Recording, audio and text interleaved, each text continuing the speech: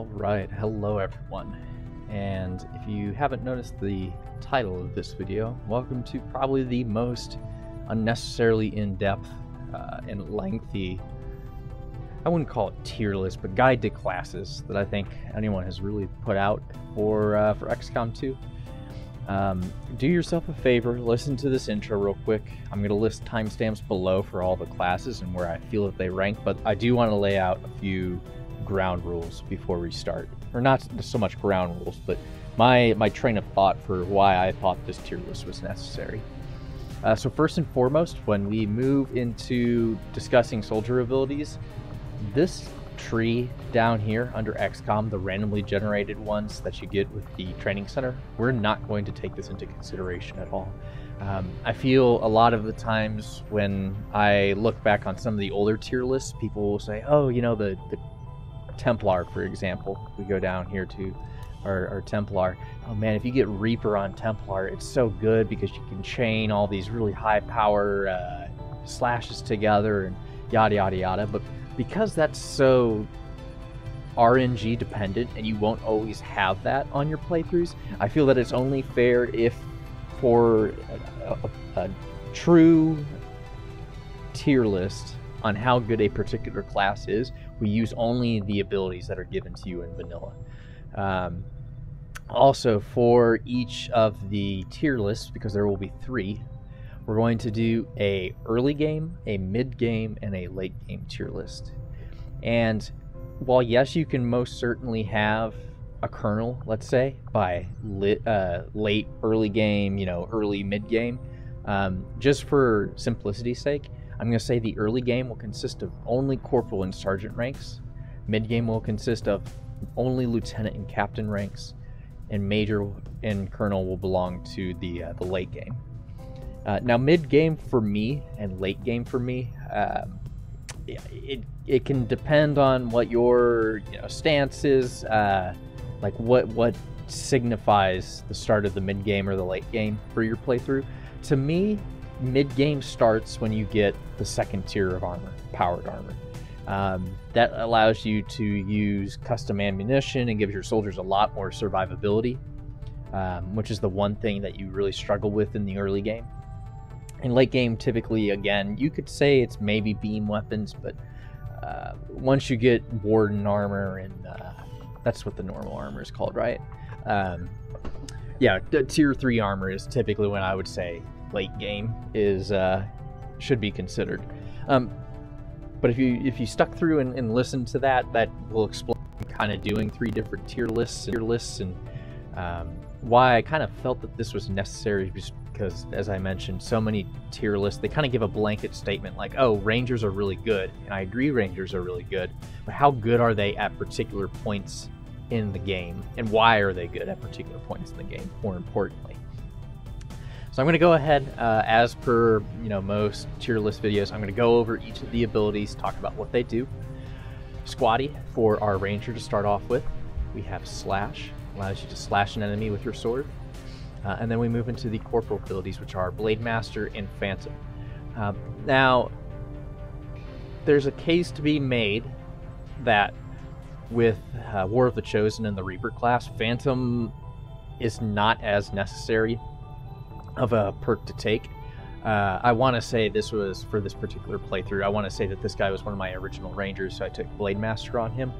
Um, Phantom can be incredibly useful for rangers in that one, it allows you to have basically a ranger, or excuse me, a, a reaper on on missions that you're not taking a reaper with you, uh, and, and two, if you combine it with Shadow Strike, which for this tier list intents and purposes we'll say is another early game bonus, um, you get bonus aim and bonus, bonus critical hit chance, um, which is great with shotguns because they already have a really high critical hit chance.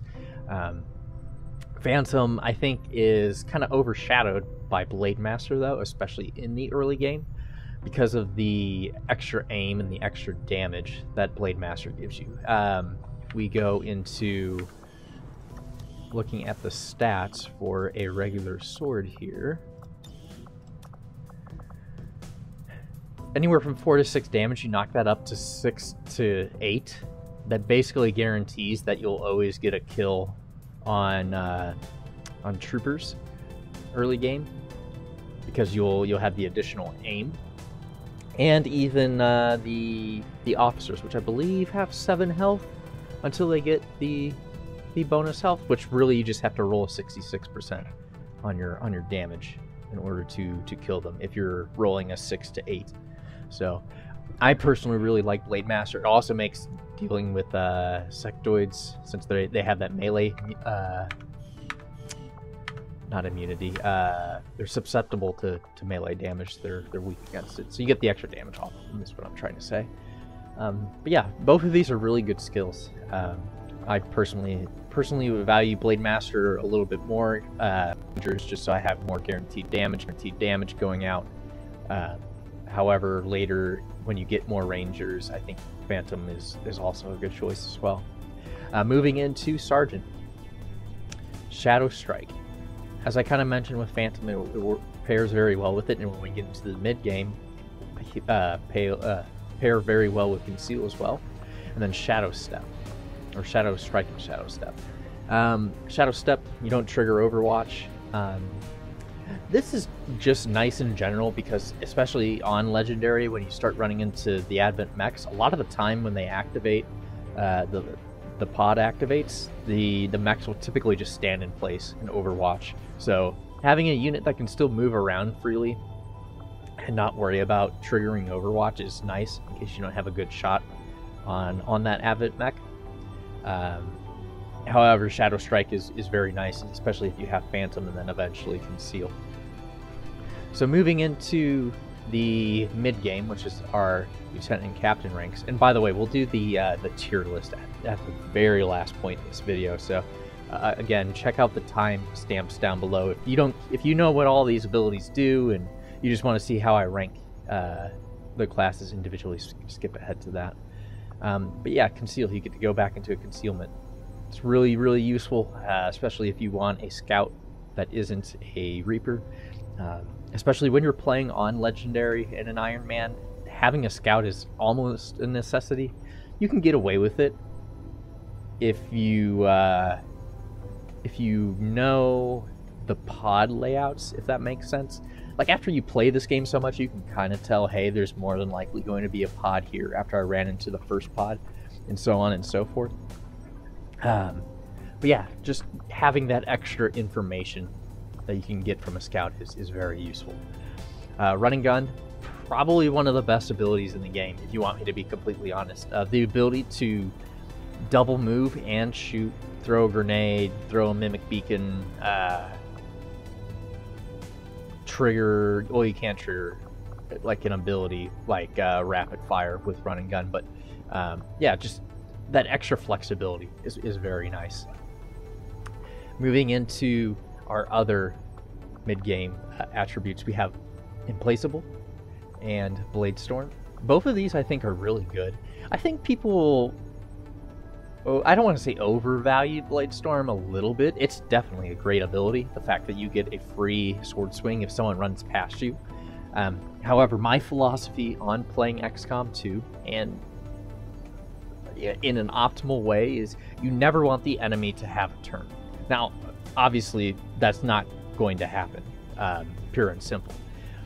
However, normally, if you're that close to an enemy to where they're running up with you, you're probably out of position a little bit. Um, and while yes, having a free sword swing is nice, um, I I can't tell you exactly what the percent chance to hit on a blade storm, like it's affected by uh, a modifier like Overwatch's, but it feels like blade storm is not as nice, even if you have blade master. It's not as accurate, in, especially for me. I, maybe it's just something I deal with, but it feels like it misses more often than not. Uh, that being said, whenever reinforcements get called in and you just plop a ranger down right in that little, you know, red smoke where you know Advent's going to drop, you get some free sword swings off, that's pretty nice, especially if you pair it with an Overwatch. Uh, moving into Implacable, this is a really useful ability. Um, the main use for Rangers is flanking targets and getting really close to them so that the shotgun, which has a, a fantastic aim modifier when you get close up. Um, take a, a, a, killing shot, you know, you deal a, a, crit shot onto, you know, an Advent Trooper or whatever, and then you get to move afterwards. So even if you're not in an advantageous position, like you have to run out in the open in order to get a, a flanking shot on on anything, as long as you kill that unit, you can run back into cover. Fantastic, fast, fantastic ability. Highly, highly recommend. Uh, so moving into the late game abilities for the ranger, we have deep cover and untouchable. I cannot ever say I have ever taken deep cover. Um, why you would ever not attack with a ranger is kind of beyond me. Um, I guess if you want to do an Overwatch creep,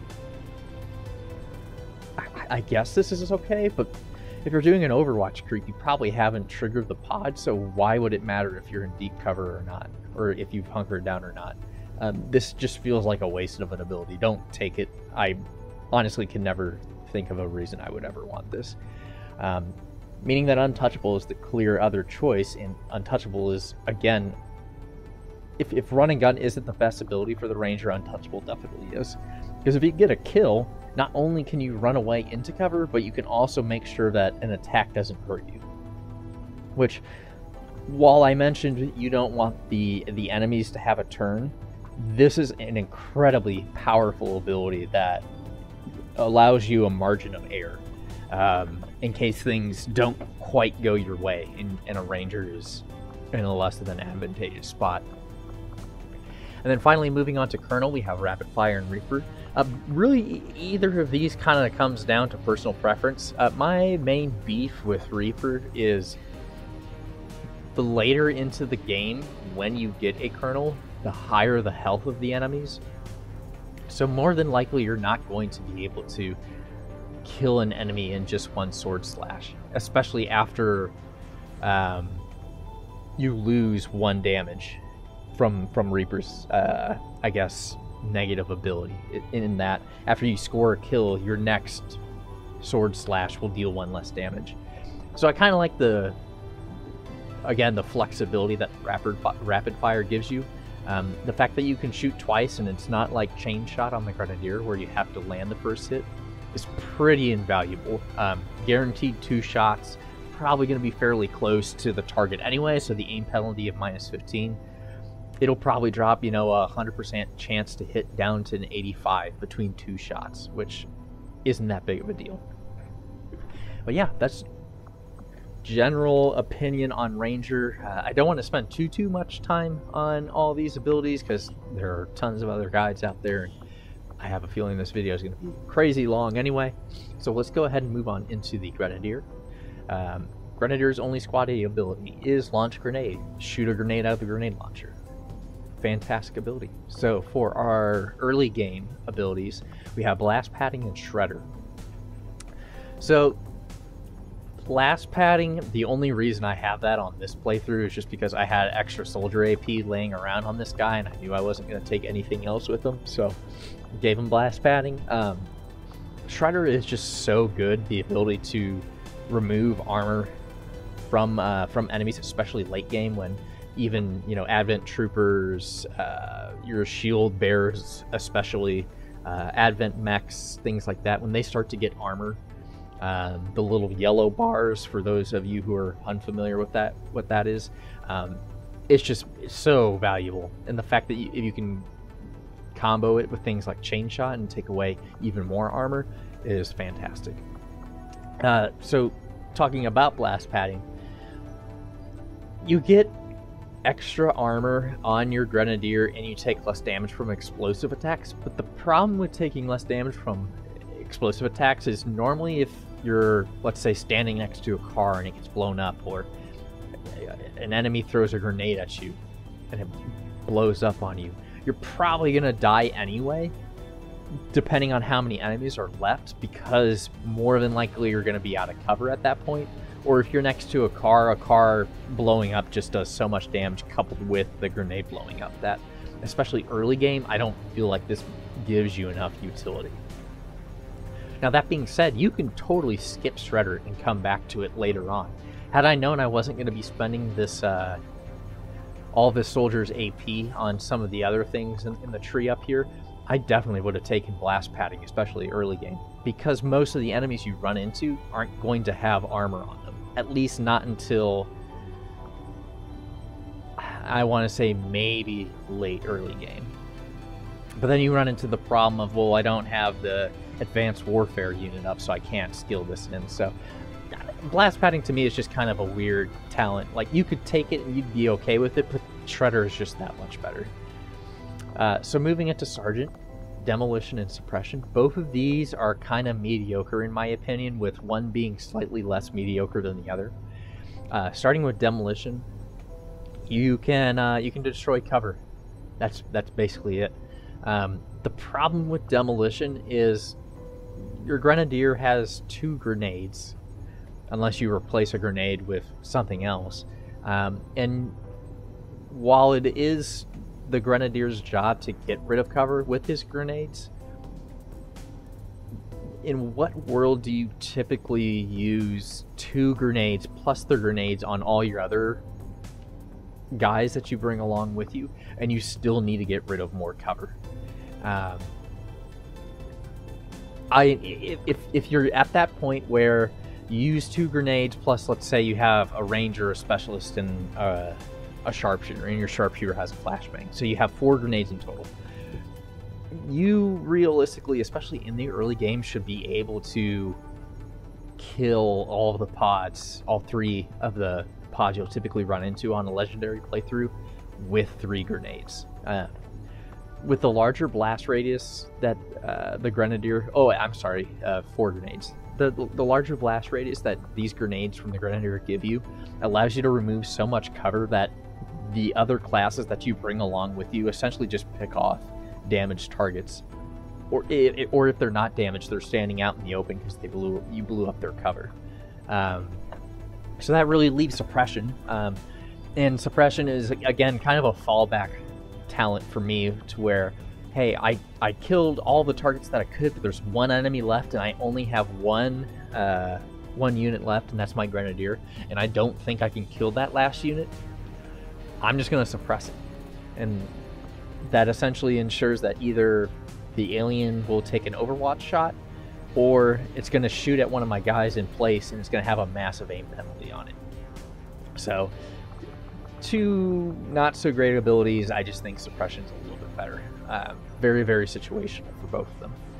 So moving into uh, the lieutenant and captain tree for the mid game, heavy ordnance um, basically just gives you an extra grenade for your uh, grenade only slots.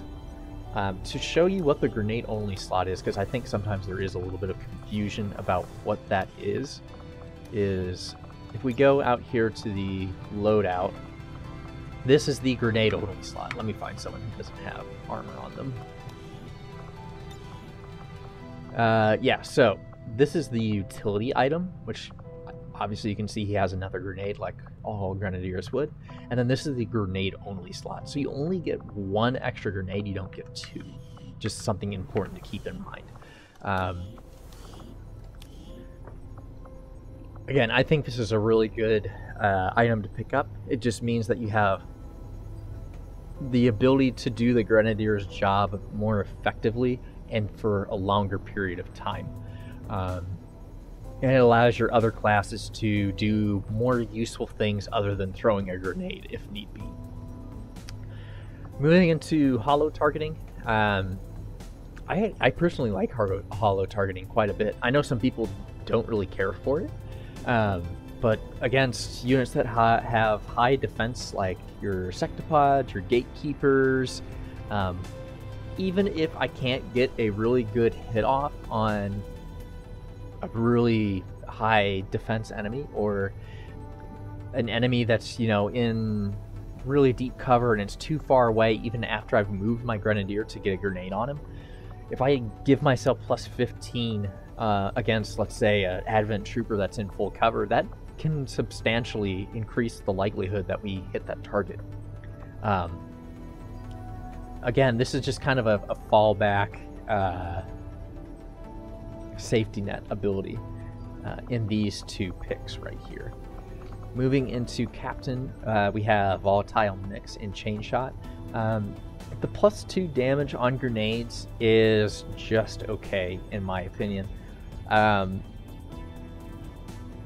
throwing grenades is the Grenadier's job, but to me, it will always be first and foremost to get rid of cover and not to kill enemies. And a lot of the time, especially when you get into the later part of the game, even when you have plasma grenades, you're not going to be dealing enough damage with volatile mix to be able to one-shot an Advent Trooper with the plus two damage on a grenade. So I'd rather, I'd much rather take something like Chain Shot, and let's say I'm fighting a Sectopod or a Gatekeeper, I'll throw a holo target on that Gatekeeper with one Grenadier, which essentially offsets the Chain Shot that I have on another Grenadier and you also are shredding a ton of armor on that on that gatekeeper as well. Um, now there are definitely more efficient ways to take down a gatekeeper, but that's just to me a good example as to why you would why you would take chain shot. Um, I also typically will throw scopes on top of my cannons because of chain shot. You throw on a superior scope, you essentially negate the penalty of chain shot. Um, it's a very very powerful ability. Um, I think people they see the negative 15 penalty on it and they just assume that it's bad. But if you have a superior scope and let's say you don't have any more upgrades for your cannon other than that, um, in, in, terms of the weapon upgrades, you can just do a superior scope and a superior auto reloader. You don't need an expanded magazine or anything crazy like that. And you can still um, reliably put out chain shot damage um, fairly consistently. And even better if you get the uh, I can't remember the name of the tech you research, but it gives you an additional weapon slot upgrade on your on your cannons. Then you can throw a superior uh, extended mag on there, and then all of a sudden you have six shots that you can reload for free three times in a mission, and you can just throw out chain shots like crazy. Um, again, I between these two, I would rather take the the extra damage just because I tend to play fairly aggressive in my in my play style. But um, if you do want the extra damage from grenades and just spam the enemy with grenades, there's something to be said for that too. Um, the one thing I want to I, I, probably should have said originally when I, I started doing this tier list is just saying that this is all in my experience. Um, and yeah, I mean, do what you want. For the late game up, uh, abilities for the Grenadier, we have Salvo and Hail of Bullets. Um, the ability to do the Grenadier's job even better by making it so that throwing your grenade only costs one action instead of two is pretty amazing. Um, Hail of Bullets is nice. The fact that you can use, I want to say it's three ammo. Maybe it's two. I want to say it's three, uh, three shots in your magazine to, to do guaranteed damage. That's good, but so is also just throwing a grenade to eliminate cover from an enemy and then being able to shoot them or holo target them. Uh, I I think that salvo is a must take on all your grenadiers. It just makes them more effective at doing their role. Um, that brings us into Colonel with saturation, fire, and rupture. So saturation fire, you basically place down a cone.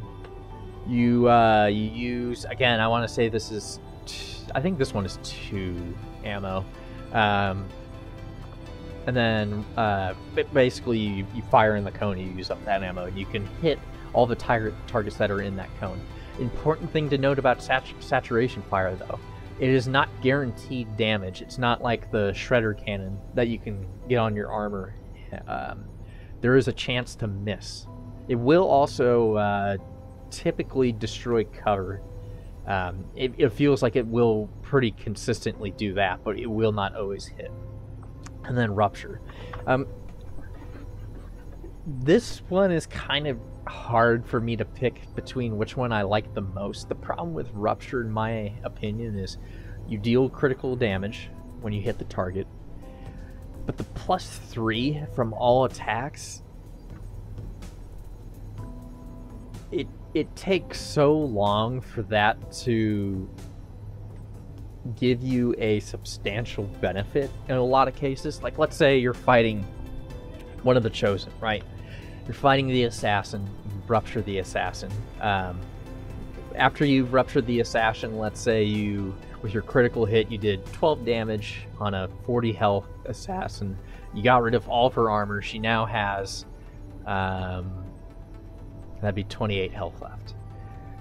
So I could run up with a ranger and shoot the assassin and get three extra damage. And let's say again, um, because we're in late game, the the ranger has the the storm cannon.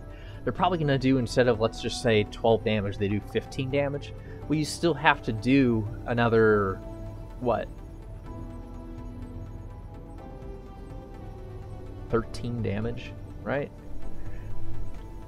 Yeah, uh, close enough. I, I, I'm sure you can kind of see my point. Is the three extra damage is kind of marginal to where and that's not even if the, the ranger gets a crit too it does even more damage then the, the, three damage won't typically push you from having to shoot that chosen from two shots from three shots um, i probably explained that really poorly but um, I, I, don't feel like the extra three damage just is enough to warrant uh, placing a rupture on some targets sometimes i usually do it just to put the extra damage there in case i need it but it oftentimes doesn't feel like it's a necessity. Is is what I'm trying to say. But yeah, that's the uh, that's the grenadier. Let's move into sharpshooter. So for squaddie with our sharpshooters, um, we have squad sight, which basically just means uh, as long as you can see an enemy with uh, within a squad mate's line of sight, you can see it as long as you have line of sight on that enemy. Which basically means, um, let's say your rangers behind or your rangers in front of your your sharpshooter and because they're let's say 10 meters in front of the, the sharpshooter they have enough line of sight to see an alien in front of them that means the sharpshooter can see them however if that ranger is looking around a corner behind a building the sharpshooter won't be able to see that alien through the building um, unlike they can with um, well, it, I guess it just depends on how wonky the, the line of sight is for the buildings. But um, yeah, basically what I'm trying to say, as long as your other people have vision on, on someone, you can you can see them as well. Uh, and then fire pistol, which means you can shoot a pistol. So moving into the early game abilities, uh, we have long watch and we have return fire. Um, return fire is horrible, horrible talent. Don't take it. You don't want your sharpshooter to be shot at. They're typically going to be in the back line uh, unless you're going for a gunslinger sort of build, which is typically how I play my sharpshooters. Um, and then you have Long Watch, which allows you to use Overwatch with Squad Sight up here. So again, you don't have to see the alien directly as long as one of your others, uh, other units can see an alien. You can take an Overwatch shot on. Uh, moving into the Sergeant talents, Deadeye you take a minus, I want to say this is minus 10? It might be minus 15 uh, aim penalty, and you get a pretty decent, I want to say it's plus 3 uh, damage onto a target. This is pretty good. The problem with Deadeye, at least until you train up your aim on your sharpshooters and, and get superior scopes and things like that, is early game you just can't hit a lot of targets with your sharpshooter. Um, a lot of the time, even if you're shooting at a target that's out of cover, from a fair distance away, you'll have maybe a 75 to 80% chance to hit. May not sound horrible, but for those of you who know that XCOM is XCOM, you're probably going to miss a lot of those 75 to 80% shots. Um, and I like to have a little bit more reliability in my in my ability to hit those targets. So moving into lightning hands, uh, you get to shoot a pistol for free this is a great ability, and it pairs very, very well with the uh, the gunslinger talents later on down the road, which I actually think makes the sharpshooter shine in ways that some people may not appreciate. Um, finishing off with the mid-game talents for the sharpshooter, we have Death from Above. You basically kill an enemy from uh, from a building anywhere where you have an, an aim bonus. You're above an enemy. Um, and you get one more action. Uh, and then quick draw, you can shoot your pistol and it doesn't end your turn. Um, speaking about Death from Above first, if Death from Above was on any other class, it would be God tier. However, for the sharpshooter, it's just kind of meh. tier. And that's because you have to have two actions in order to shoot your sniper rifle. So until you get the chosen sniper rifle, you can kill an enemy from uh, a position up above and you'll get another action, but you'll only be able to shoot your pistol at that point, which depending on how you have your sniper built isn't ideal, um, and it, it, doesn't have the same combo potential that it does later on when you when you have the hunter's rifle. Um, that being said, I actually think Quick Draw is a really good ability. Even though I was just talking about how being able to shoot your pistol after you uh, you kill an enemy from above, I, I, actually think being able to shoot your pistol twice is actually really good. Um, one of the main reasons that I wanted to specify that the mid game for me starts when you have armor level 2 is probably for this ability right here. And one of the reasons that I think sharpshooters are actually a pretty good unit. Um, throw blue screen rounds into your sharpshooter, you don't even have to upgrade the pistol, and you can deal out some serious damage against advent mechs. Let alone after you get the the hunter's pistol, which ignores armor. Um, but I'll talk about that a little bit later when we get to fanfire, or not. Uh, yeah, it is fanfire. Um, but yeah, this uh, this ability you can basically two shot with just a regular pistol, uh, the regular advent mech, the, the white one, uh, and then the red Advent mech, you can typically lightning hands, pistol shot, pistol shot a red mech uh, before they get their health buff later on in the game. So, kind of an underrated talent. Um, if you combo this with Death from a Shoot, a Trooper, finish them off, off lightning hands, a white mech, quick draw, another uh, pistol shot onto a white mech, you, you killed two enemies in one turn, which for the mid game is actually pretty good. Um, moving into Captain Rank, we have Killzone. Highly, highly overrated skill by, I don't want to say a lot of people, but um, I think a lot of us have seen those YouTube videos where you see, like, oh, the old one where, you know, two pods have activated, pods have activated and this, this sharpshooter that's perched up on a skyscraper somewhere gets all six of their extended mag shots land, and they kill all six of the advent troopers. In actuality, normally at least in my experience, kills uh, Killzone will trigger on half of the targets that it should. Like it feels a little wonky sometimes, the, the detection for the Overwatch shot. And then because you're taking Overwatch shots, you're taking a pretty severe aim penalty, um, which makes it far less likely for these these shots to hit, unfortunately. So that takes us into Face Off, which I is a pretty darn good talent. Good talent. Um, being able to shoot at every target that's visible is pretty nutty, especially if the Lost are involved. Um, there, there are some situations where I've been able to deal 100 plus damage because I basically took a pistol shot at a bunch of Lost, some Advent, um, even the Chosen. Um, and it doesn't have to be amazing damage um, rack up a ton of kills. It's just spreading out spreading out damage, especially on those lost and things like that, so that another class can just walk in. Um, you get a guaranteed kill on some of those five or six health loss that you may have some trouble killing with um, with weapons that deal a little bit damage, a, a little bit less damage.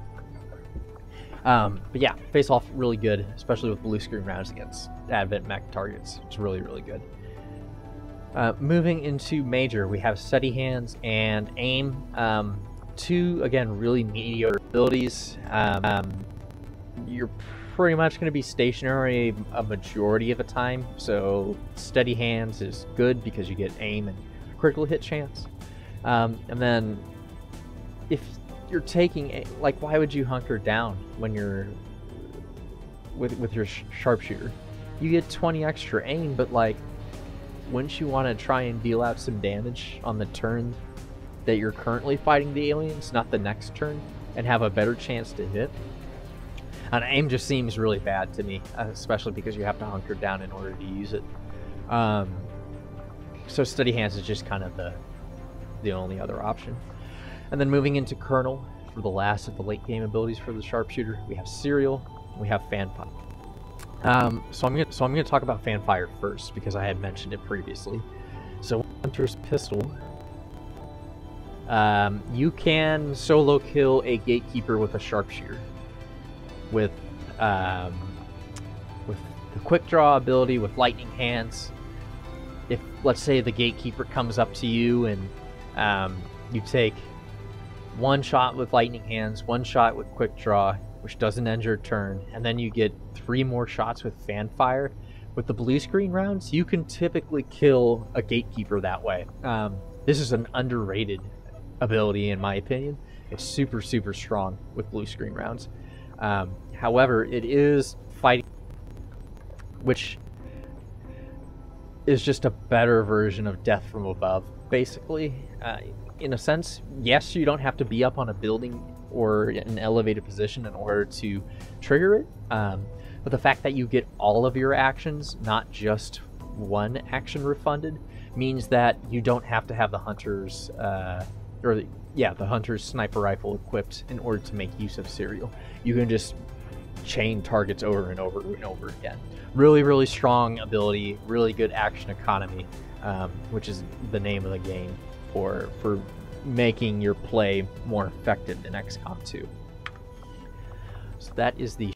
Let's go ahead and do the do the specialist before I start on the hero classes. Um, for those of you who watched my very brief breakdown of a specialist in the second part of my guide slash let's play that I, I uploaded. Um, you will know that I don't really value the specialist. So I'm going to do my best here to kind of just go over the abilities for the specialist especially um, and just say what they do and how they could be used. And you can come to your own opinion about whether you should use a specialist or not. I personally don't think that they're all that useful, but again, that's just my opinion starting with the squaddie abilities. Every um, you get the ability the ability to give your guys plus 25 defense with aid protocol, and the ability to hack uh, the little advent towers that are sometimes on some of the city maps, which can give you some bonuses and things like that. Um, this, I mean, because you get it for free, is isn't a horrible ability, but nine times out of ten, I feel like the reward isn't really worth it in those towers, and the percentage to get something like let's say you can get a large supply of supplies or typically it's like a small supply of supplies large supply of supplies um, the, the the ability to get the easier of the two is normally not going to be worth the chance of having let's say an enemy pod called in on you that's just making more work for yourself and especially in the early game when you're probably scrambling to get to an objective. Um, it's just not worth it in my opinion, a lot of time. Um, so for the corporal and sergeant abilities, we have medical protocol and combat protocol. Now both of these are actually kind of okay. Um, the really nice thing about medical protocol is it only costs one action. Very important thing to note because combat protocol costs two actions.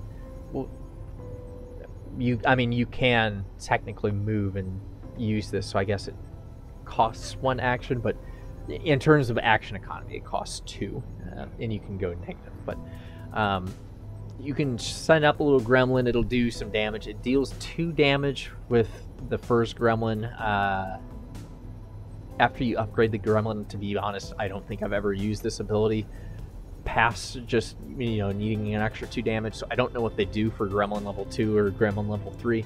Um, oops. Uh, this is just really nice if, let's say,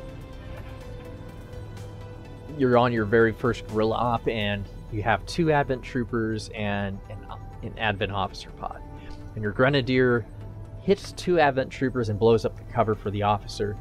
You can basically ensure that you're going to kill one of those Advent troopers with combat protocol if you don't feel that your your specialist has the aim, which oftentimes they don't have the aim to secure the kill on the Advent trooper. So pretty useful ability for that. Um, and then medical, good safety blanket in case you take some damage. Um, the problem with this is a lot of the time. I shouldn't say a lot of the time.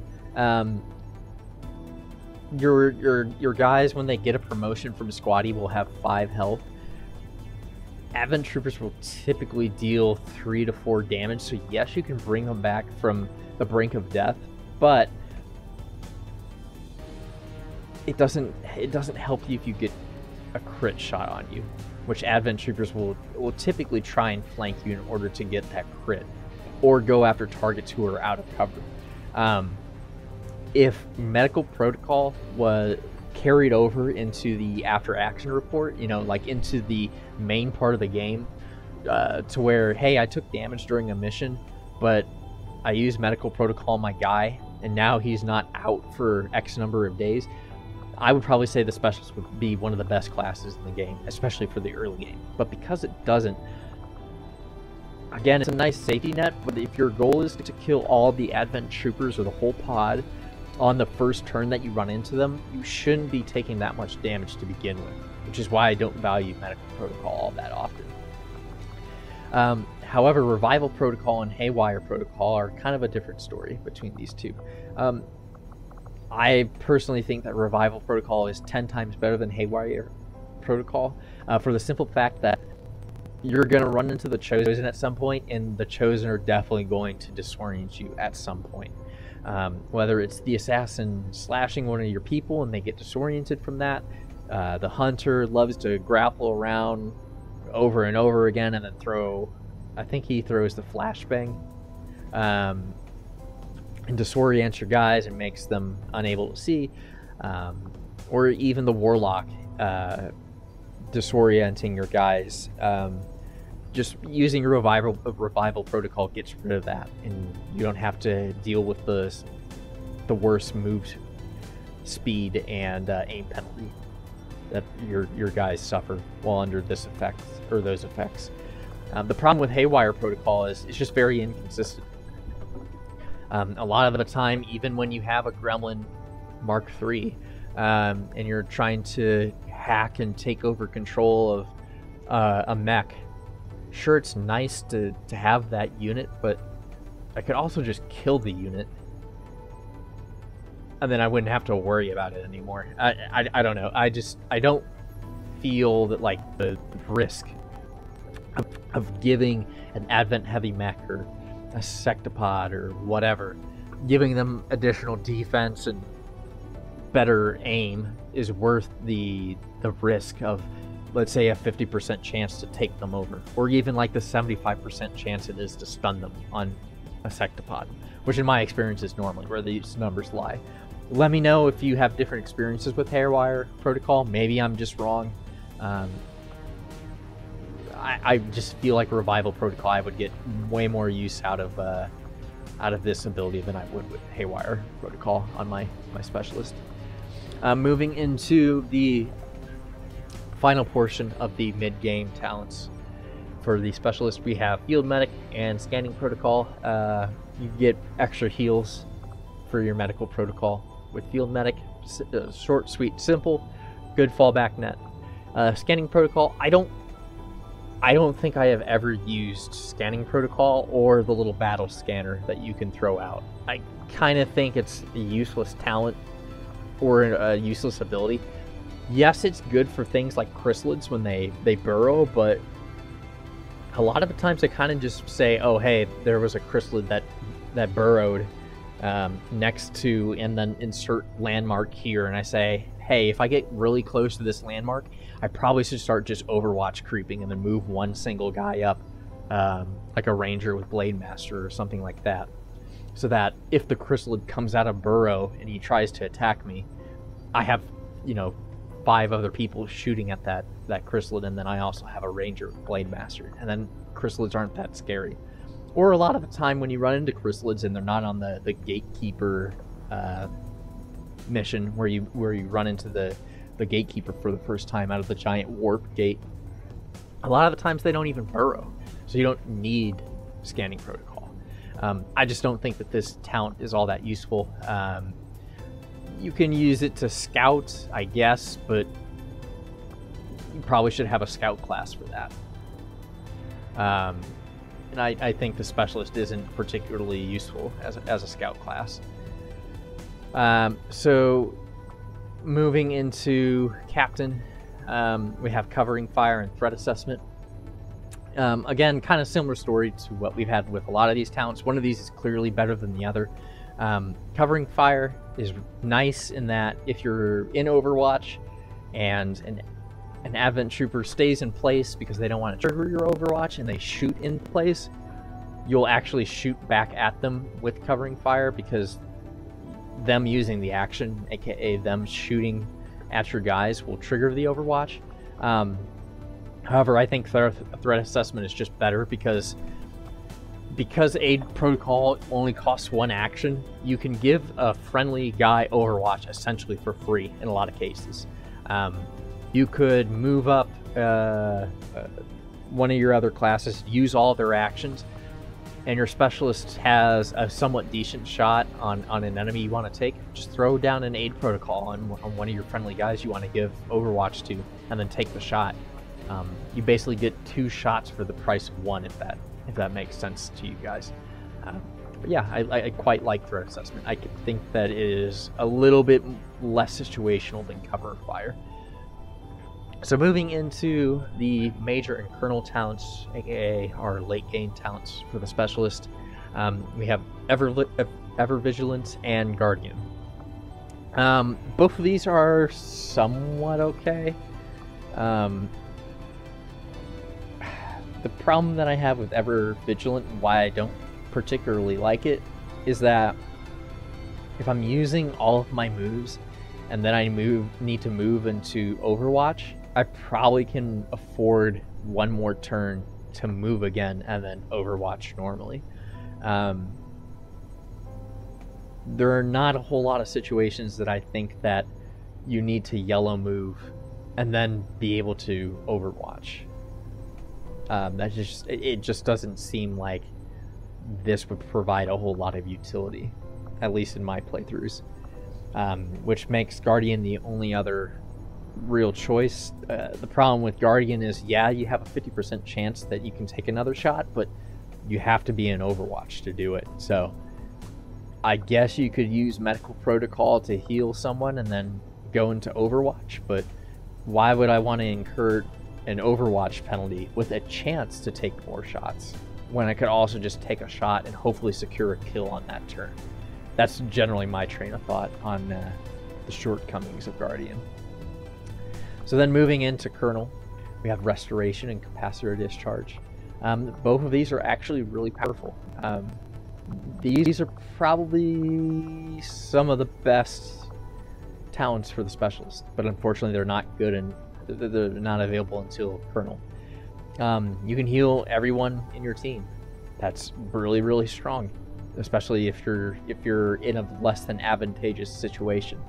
Um, and then capacitor discharge, you have a decent sized AoE that does a pretty good amount of damage to robotic enemies, but a pretty lackluster amount to organic enemies. Um, but being able to spread damage between a whole bunch of enemies is what generally makes capacitor discharge shine. Uh, shine. So, um, yeah, the fact that you can also uh, com- um, combine this with you know an aid protocol with threat threat assessment or medical protocol with a capacitor discharge not bad. Uh, not not bad end game uses for the the specialist. Um, let's go ahead and talk about the hero classes. Uh, we'll have to go over to here to talk about the spark first. Um oh shoot. I can't show you the may have to edit this because I thought, oh, I thought, oh, here we go. Move you out of the way so you can see this. Okay, so Spark. Um, Spark is a very interesting unit. Um, I see some people say it's only really good in the early game. It kind of falls off in the mid game. I actually usually have quite a bit of fun using it later on in the game. Um, adaptive aim versus bulwark. These are both adaptive aim is going to be almost always better than bulwark even though bulwark can be situationally pretty good.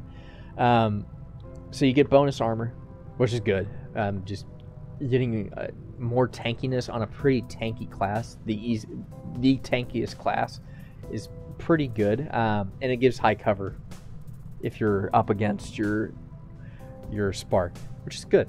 Um, however, adaptive aim, the fact that if you overdrive, you get to not incur an aim penalty is also really strong.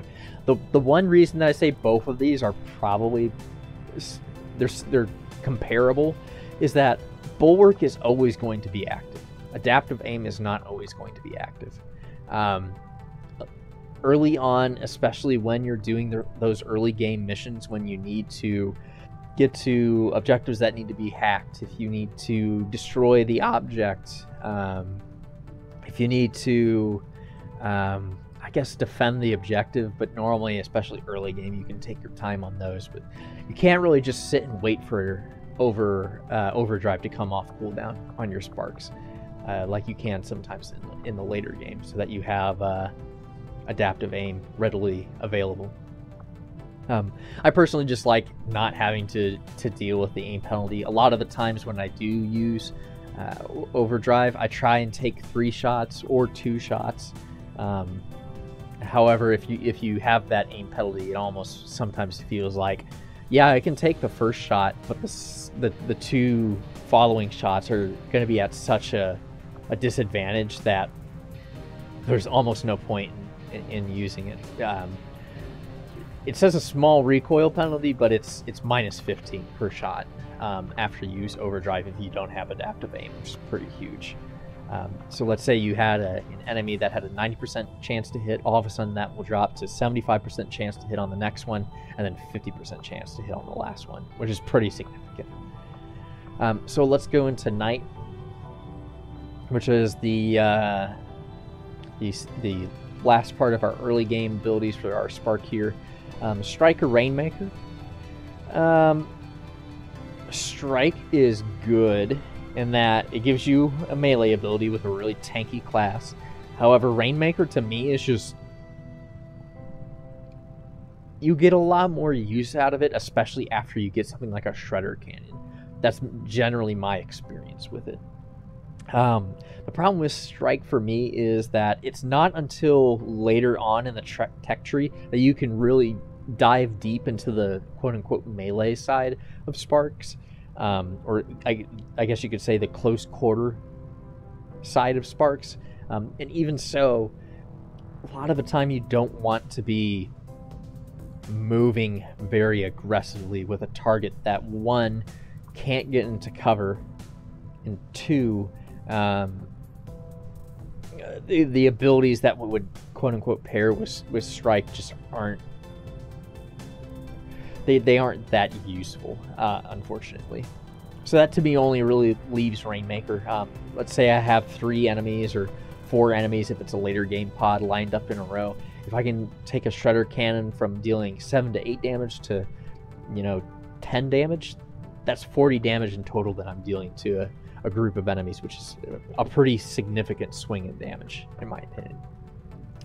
Um, so, Cavalier for the mid game abilities for Spark.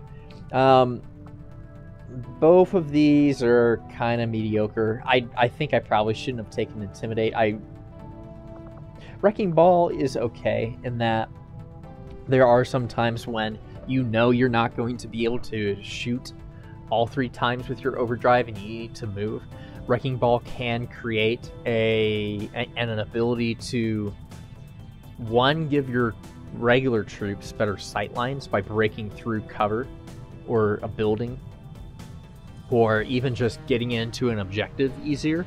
Um, it's very useful for them. But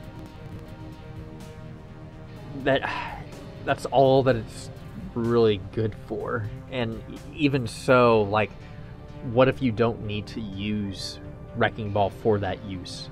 Or even worse, you misclick and all of a sudden the cover that your guy was using is gone because your spark accidentally just blew up his cover, basically. Um, Intimidate isn't that much better though because I I can't remember the last time I ever saw Intimidate proc.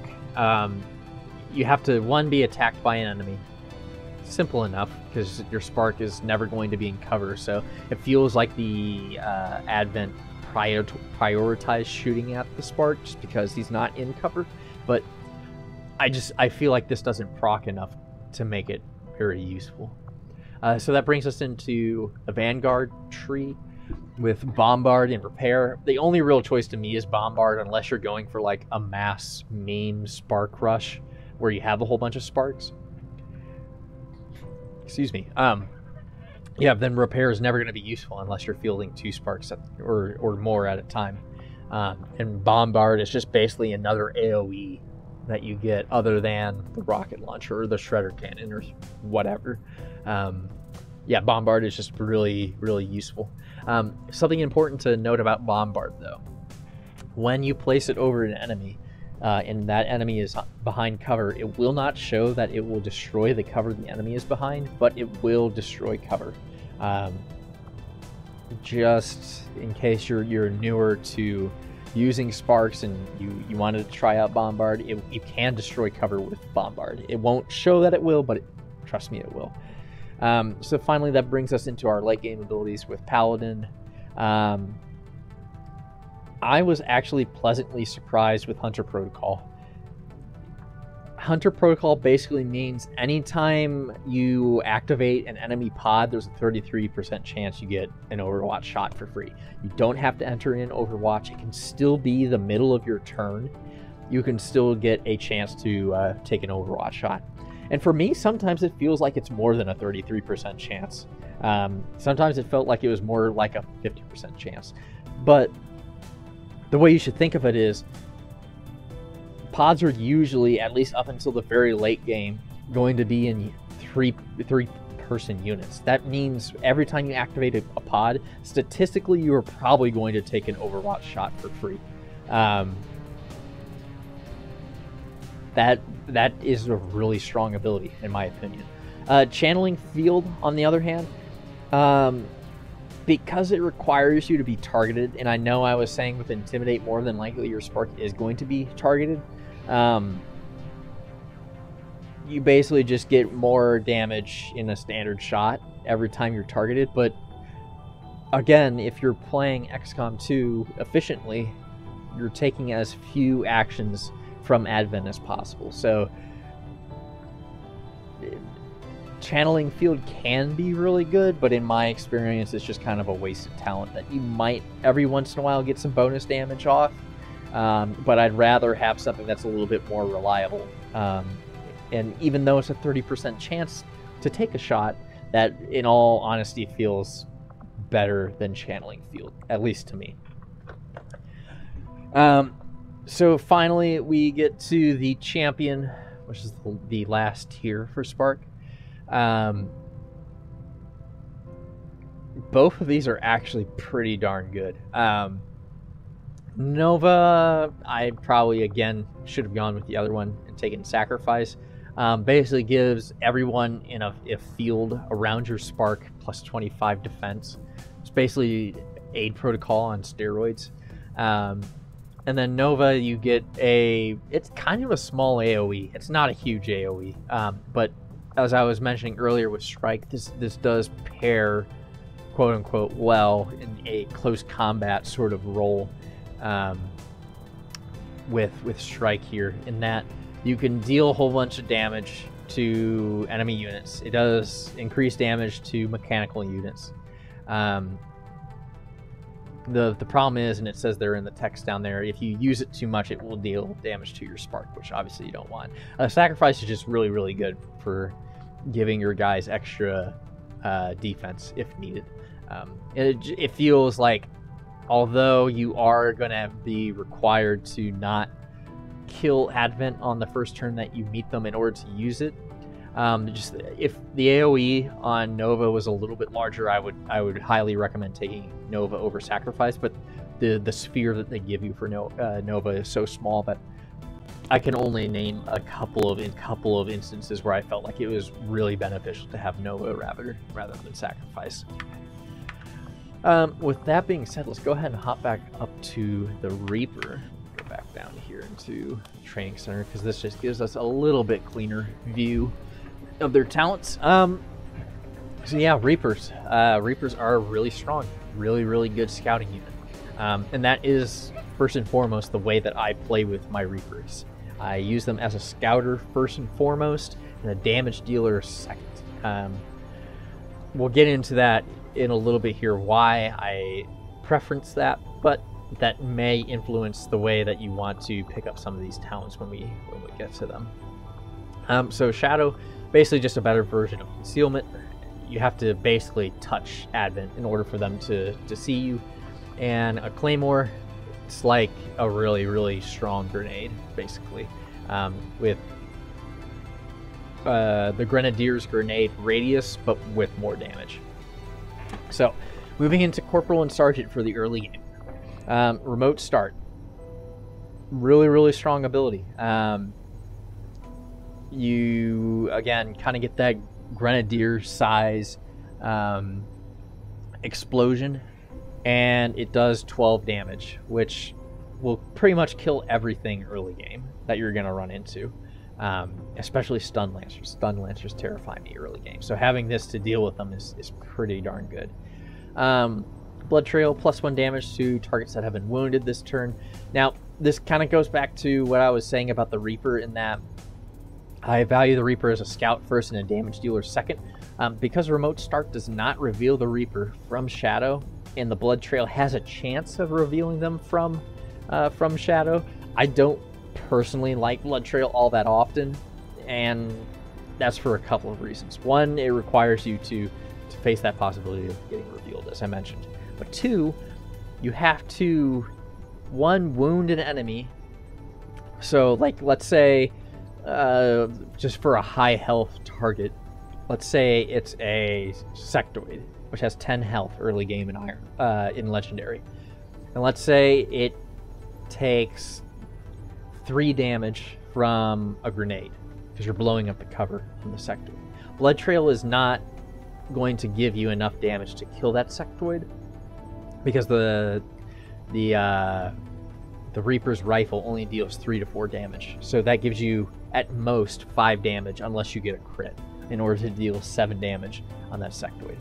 Um, but even if you say shot that sect- that same sectoid with, um, let's say, a crit from a ranger, and you did uh, a ranger shotgun, and you did six or seven damage. Let's just say seven damage to be on the high side.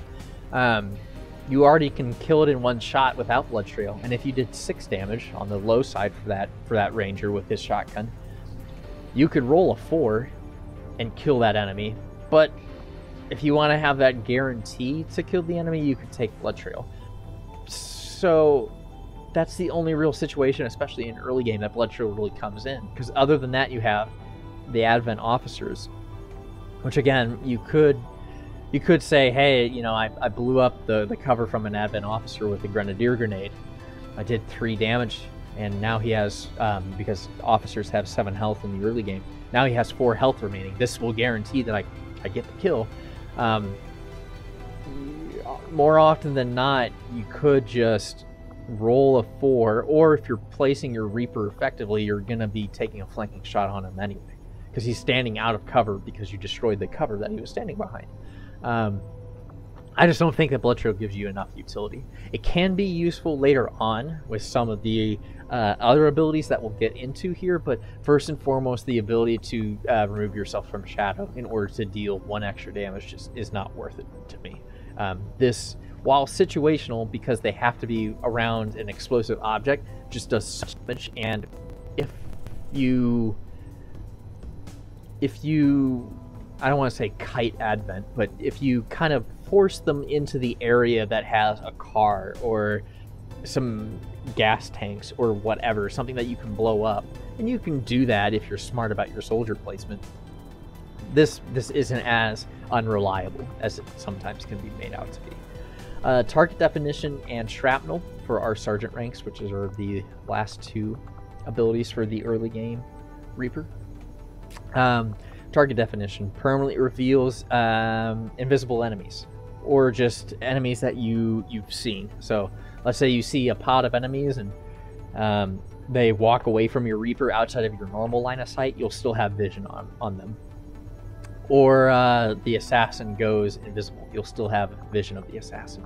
This to me is just kind of a I don't have the I don't have the the game knowledge or I don't want to say the the technical skills, but you don't need this. I I think this is probably one of the worst abilities in the game. It just feels really useless to me, even probably more so than the one that requires you to hunker down. Like I guess there's a freak incident that you would want to hunker down for extra aim on your sniper. Um, I just I don't see this being all that useful.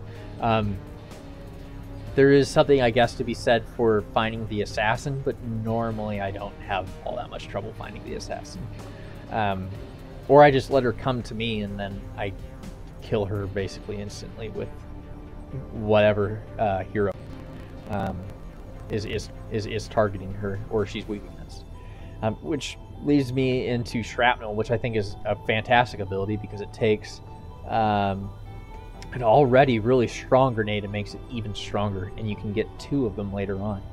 And you stay invisible while you, you throw these these grenades. So, um, really, really strong ability. I, I personally recommend it more than target definition, but again, that's just my, my opinion.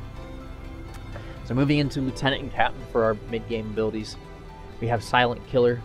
Um, the text on this is kind of it, it's misleading. Uh, basically, Silent Killer should just mean if you kill an enemy while you're in shadow with your with your sniper rifle, you don't get revealed.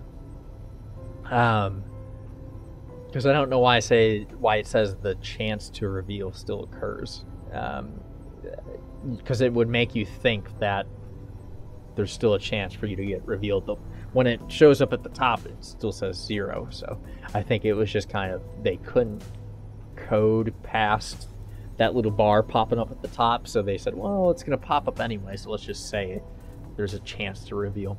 Um, so for you people who want to use the ranger as a damage dealer, this is this is the way to do it. If you want to combo um, Silent Killer with Blood Trail, I I think this is a worthwhile uh, pickup.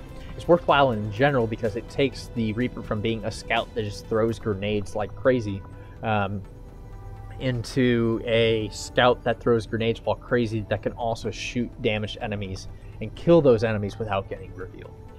Um, distraction. The problem with distraction is I don't know why you would ever want to have your your Reaper get revealed and then throw a Claymore. Um, the great thing about Claymores is you can run up to an enemy pod before you're revealed and then throw the Claymore down so you hit all the targets in the pod. That's what makes Claymores really, really good. and What makes the Reaper really, really good, in my opinion. Um, I can see some instances of hey, I, I started with Blood Trail. I want my Reaper to be a damage dealer. Um, I, yeah, I mean, just kind of theory crafting the reason that you would you would take distraction. It's kind of a mystery to me. I, I, I don't I don't feel that it's all that useful, but um, let me know what you think below. If you think distraction can be uh, a really useful talent, let me know some instances that you have gotten some use out of it or how often you get use out of it. Um, so Needle is the the last uh, talent in our lieutenant tree. Is this the first class that has? Uh, yeah, yeah. This is the first class that has three different talent trees. Um, yeah. So we have Needle plus two armor piercing. So you ignore two two armor on an enemy. This is again really strong ability if you want to combo it with things like Blood Trail, things like Silent Killer. Um, highly, highly recommend Needle. Not a must take. Normally, I'll take Silent Killer just because, again, I want to be able to run around, throw grenades, and shoot. Um, yeah, good, good, good talent. Um, Captain, we have Sting, and we have Soul Harvest. Um, so, because of how valuable I find Silent Killer, the ability to farm kill shots, which increases your crit chance, um, I think is the is the clear choice to me because I am going to only be taking kill shots when I'm shooting because of Silent Killer. Um, the problem with Sting is that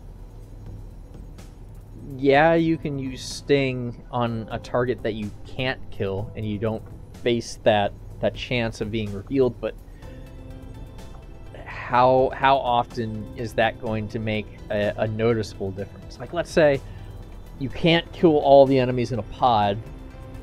Um, you killed two of the three, and you're kind of down bad. And I, I guess maybe you could t- use Sting and say, hey, if I get this crit on this um, on this Advent Trooper, and I need to roll a four instead of a three with the, with the base sniper rifle, just for comparison. Um, I, I guess you could make the Sting is a good way of ensuring that you don't get revealed, but even if you do get revealed, you still can go back into Shadow again once per per run per mission, um, and that would alleviate some of the pressure off your team.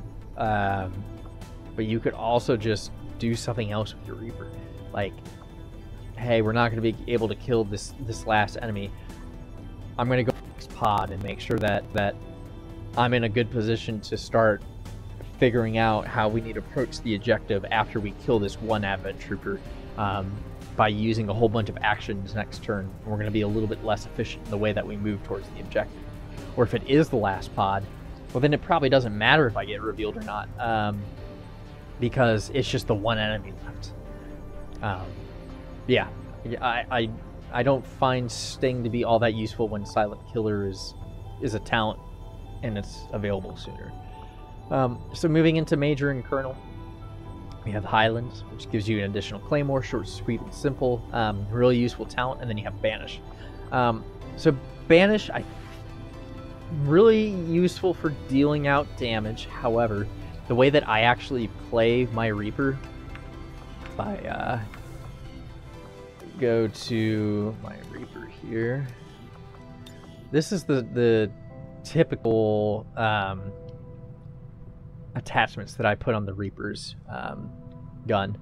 I'll usually have a superior um, magazine upgraded and then a superior repeater. Uh, now, unfortunately for this playthrough, I only have an advanced expanded magazine at this point, but um, you can theory craft along with me. Um, you'll you'll probably guess why I like Banish so much. I take my five, in this case, or six shots, with a 15% chance on each of those shots, if they hit, to kill an enemy instantly. That is a really strong ability, especially against things like the Chosen or um, the Alien Rulers or a Sectopod. Um, six six shots at a 15% chance for each of those shots to to kill them instantly it's not going to be a guaranteed 100% chance of the time, because uh, that's just not how statistics work. Um, but you will definitely have a considerably higher chance of one-shotting that enemy. Um, if all of those shots hit. So I really like Banish a lot for that for that use. It is kind of a niche. Um, hey, I'm saving this for a really scary enemy sort of pick, but um, I like it quite a bit.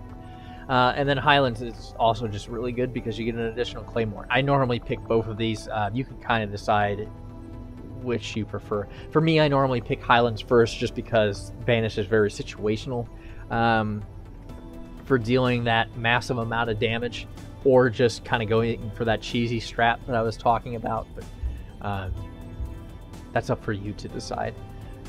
Uh, and then we have Annihilate and Homing Mine. These are kind of two really mediocre abilities in my opinion. Um, we'll start with Annihilate just because we, we just talked about Banish. So when you kill a target with Banish, you, you continue, continue firing uh, until you run out of ammo. The problem with Annihilate is, one, you can't choose the enemy that you shoot at next. And two, a lot of the times with Banish, you're going to be using it on targets that have so much health that you're going to run out of ammo before you kill them anyway. Now, with that cheesy sort of strat where I'm using the repeater and the extended, extended magazine, let's say I kill the Chosen on my fourth shot uh, with the repeater, and then I have two others to shoot. Well, if I can't choose the target that I'm shooting at, what if the target's in heavy cover? Or what if the target's in like a really disadvantageous position for me to be shooting at? Or what if there is no other target? Um, in that case, I would rather take something like homing mine Now, the thing about homing mine is no, it doesn't give you any more mines. Um, and it only will explode on an enemy taking damage. But the one thing that it doesn't show here in homing mine is um, as long as you have line of sight on the enemy, you can attach a, homing mine to them. It's not like throwing a regular claymore where you have to be within a certain distance for the spear, the AoE, to fall over an, an enemy.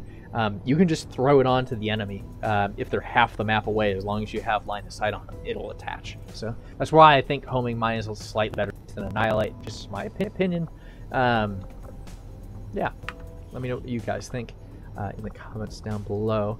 Uh, we're down to the last two classes. I know this has been very long so far, um, but we're almost there. So, Templar. Um, Rend, basically you just use the little gauntlet that he has for a melee attack, Volt. Um, use Focus, you can shoot out a lightning bolt. Um, I want to say it's at, yeah, it's at 2 Focus. Duh.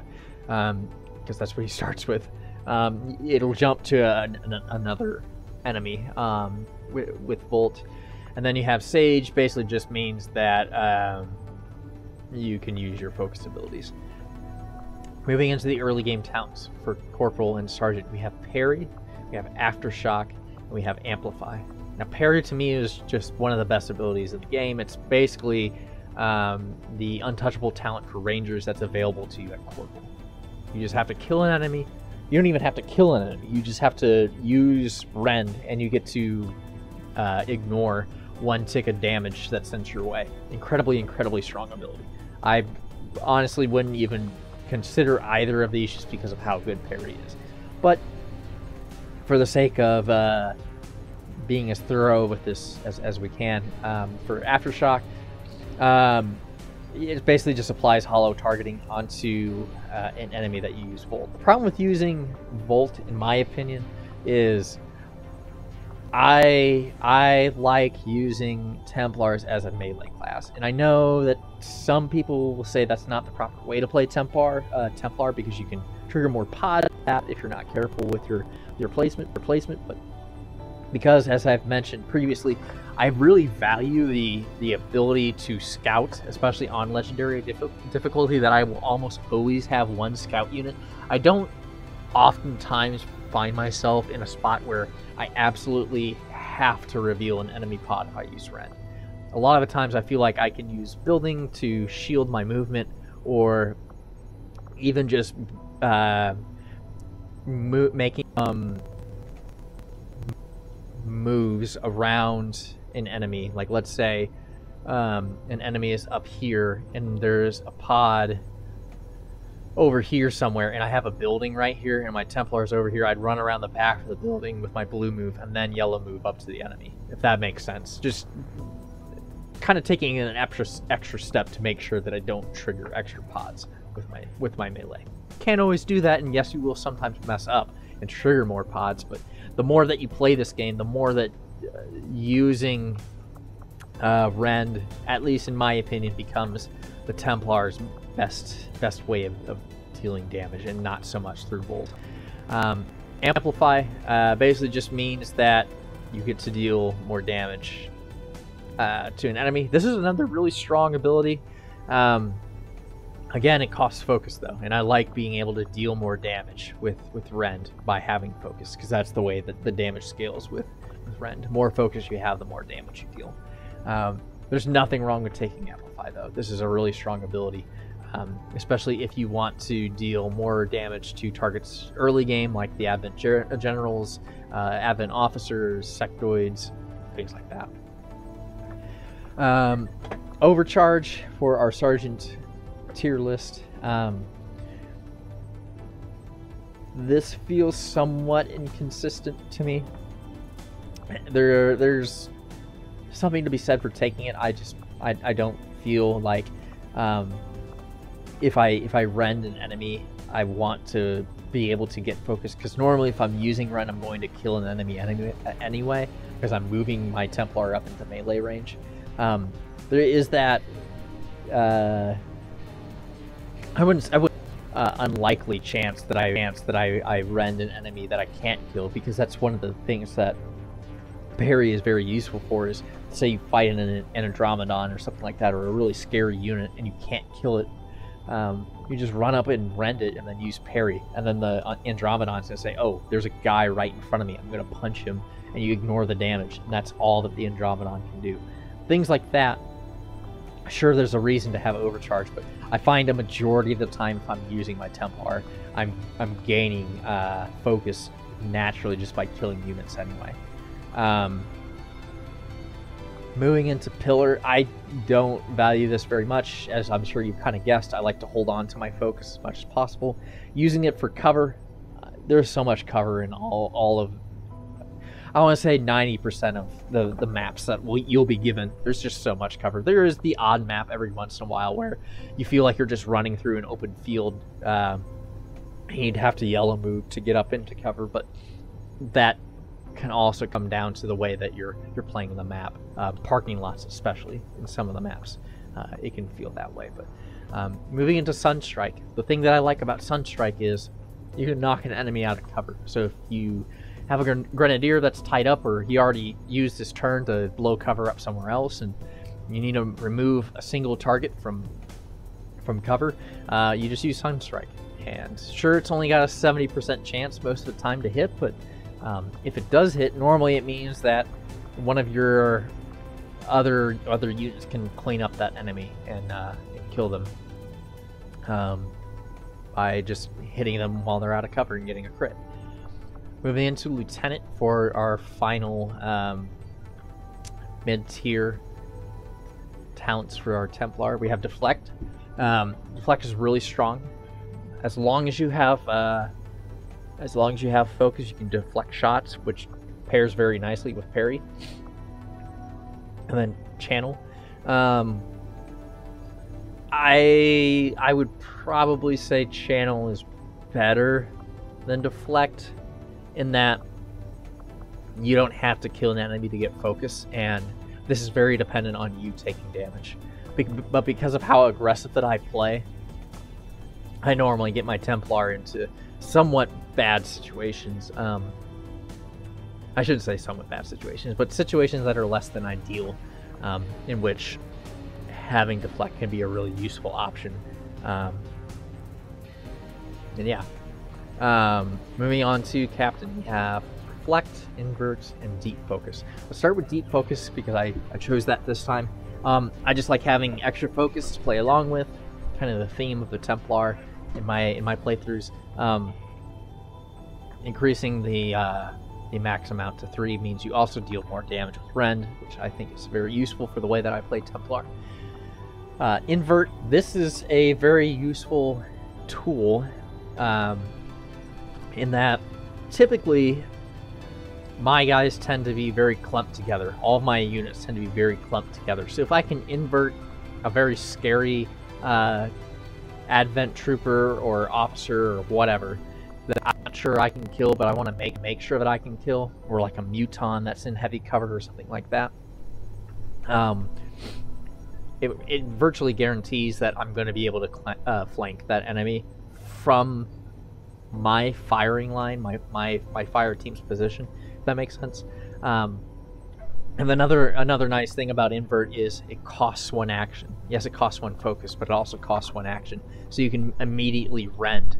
Uh, since you're going to be right next to that target that you switch places with, you're going to be right next to all of his allies. So you should be able to get a rend off as well, and then parry. Um, the only problem with invert is if you're not scouting effectively, sometimes you can trigger more pods, and that just leads to more issues. Then you have reflect. Um, basically just means that you can shoot a shot back at an uh, attacker, which is a better version of deflect. Um, I, I, I just like having the extra safety blanket of having deflect on top of parry. Um, the fact that you can shoot this back at someone makes it better. Um, in this particular playthrough, I just, I, I, really and truly probably should have gone with channel instead of deflect, and then maybe I would have taken reflect, but I just like having deep focus. So these are all really up to you. They're all, I think, very useful skills, but It just depends on your playstyle.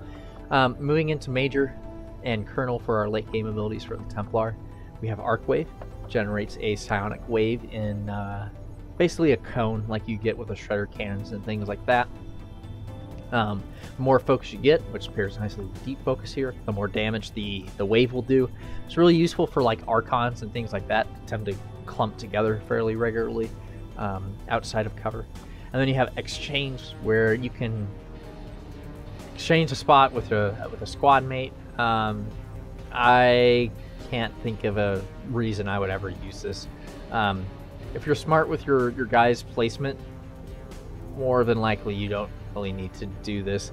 Um, I guess if one of your backliners, um, like say a sharpshooter or a, uh, I guess even a grenadier is, is out of position and they're getting flanked by like a melee unit and you want to get them out of out of harm's way. But if you're playing with your Templar, I mean, Templar is a frontline unit. Like, why would you want to put one of your backline units up, quote unquote front line? It just uh, this uh, this ability doesn't make a whole lot of sense to me as to why you would take it. Um, so I I pretty much just say take Arc Wave always over Exchange. Too situational, um, in my opinion. And then finally, uh, Colonel for incredibly, incredibly strong abilities in Ionic Storm, Void Conduit, and Ghost starting out with uh, Ionic Storm. Basically, you, uh, you, just use all your focus that you have and you drop a Lightning Storm on people. Really, really strong ability. Important thing to note um, your Ghost that you summon has all the abilities that you have, um, including Ionic Storm. I don't know if people um, still are under this assumption, but I saw a while back someone said that um, Ghosts only had and and and pre and previous abilities, and it wouldn't have things like this. But no, uh, Ghost Ghost will definitely have Ionic Storm if you, if you take it. Um, so going into the Ghost real quick, um, since we, we, we mentioned that, basically you just pick up a, a, humanoid body, you know, an Advent trooper, officer, civilian, whatever. Um, you summon a basically a, a, a copy of yourself has all your abilities, including any of these abilities. So, like for this playthrough, my ghost had Reaper and things like that. Again, since we're not counting these, it'll have Arc Wave, Deep Focus, Deflect, which means this ghost has three focus. Um, your uh, your ghost can use all these abilities, and it, and it will disappear when it uses up all the focus. So what I typically like to do with my ghost is use it as an ionic storm carrier. Um, basically create the ghost, run it in with three focus because I have deep focus. Use ionic storm, which will do a, a deal a ton of damage to a an okay size AOE. Um, and then I can also use my Templar, which will have one focus uh, remaining to still dish out some damage with bolts if I need to, or just gain more focus with rain, Rend, things like that. Um, Void Conduit, um, it's kind of like stasis that the uh, priests and the um, um, oh gosh, your psyops guys get. Um,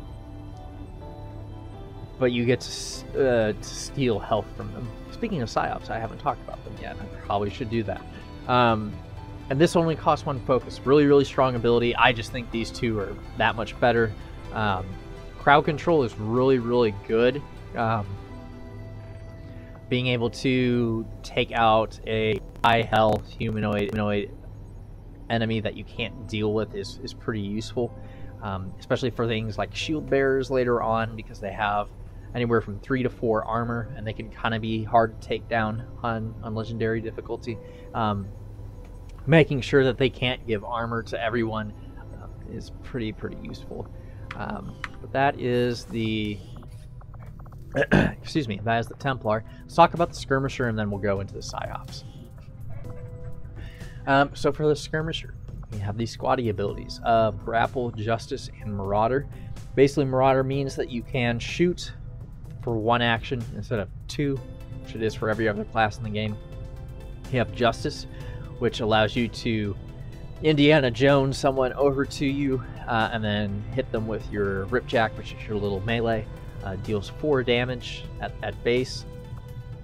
And then you have Grapple. You get to grapple hook your, your way up. Um, free action, very, very important thing to note about Grapple, especially in War of the Chosen when we get to things like uh, the alien rulers and things like that. Um, so starting off with Corporal and Sergeant, we have a Reflex Total Combat. Um, both of these are kind of situational. Um, you get an extra action on the next turn it, when you get shot at, but this only happens once per mission, which makes Reflex, excuse me again, um, in my opinion, not as good as Total Combat. Sometimes what I'll do is um, I'll, I'll, if I can't grapple somewhere, I'll just throw a grenade and I'll shoot someone and that makes Total Combat, I think, a little bit more useful um, than, than, Reflex, or just throw a Mimic Beacon on my uh, skirmishers. That way they can be the, the dedicated throwing class, and they can still deal damage while doing that. Um, Sergeant, we have Wrath and Zero in. Uh, so Wrath allows you to pull yourself with Justice, the, the same ability, to an enemy and then deal that um, that ripjack damage that we were talking about earlier. Um, this costs one action, so you can pull yourself to an enemy, and then you'll probably have a hundred percent chance to to hit.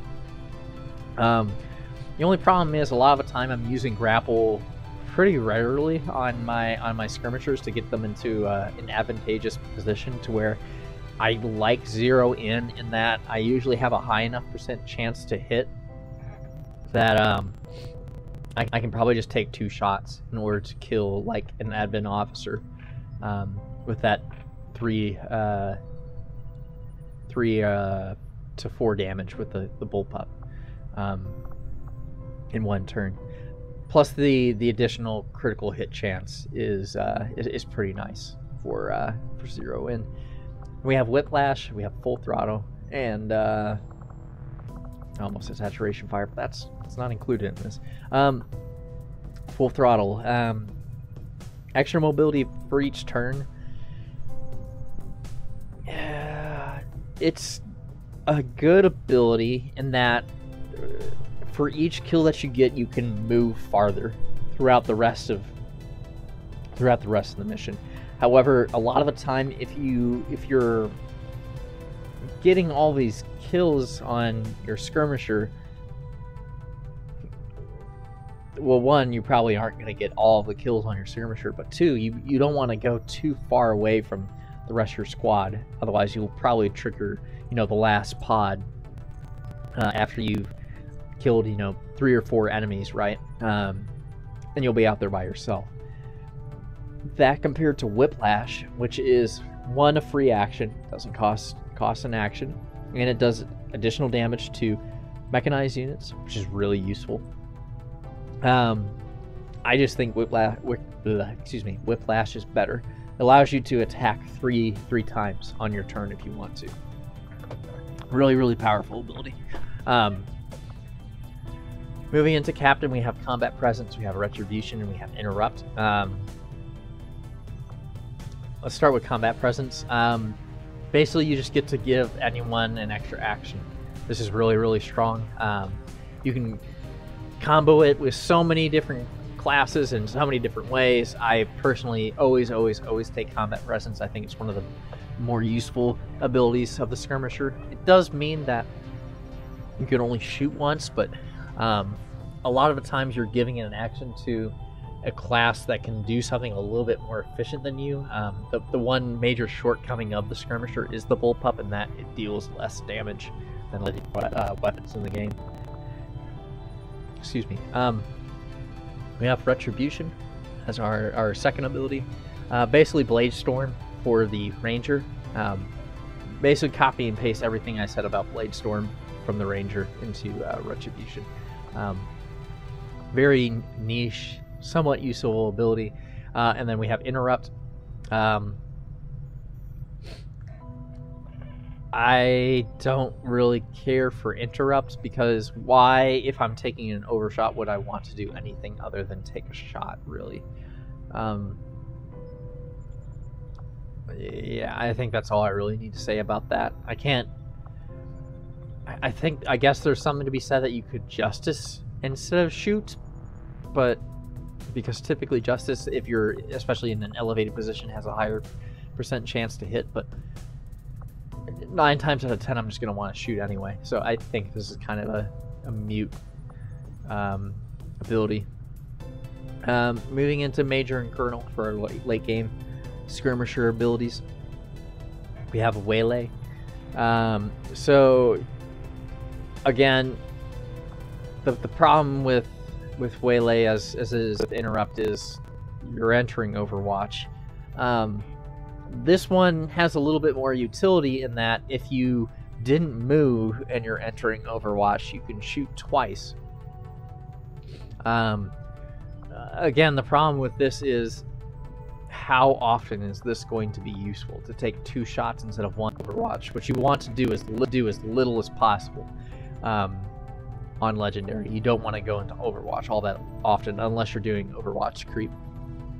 Um, when I can also just take something like Reckoning, um, which combos pretty nicely with, with Wrath, um, combos nicely with Justice.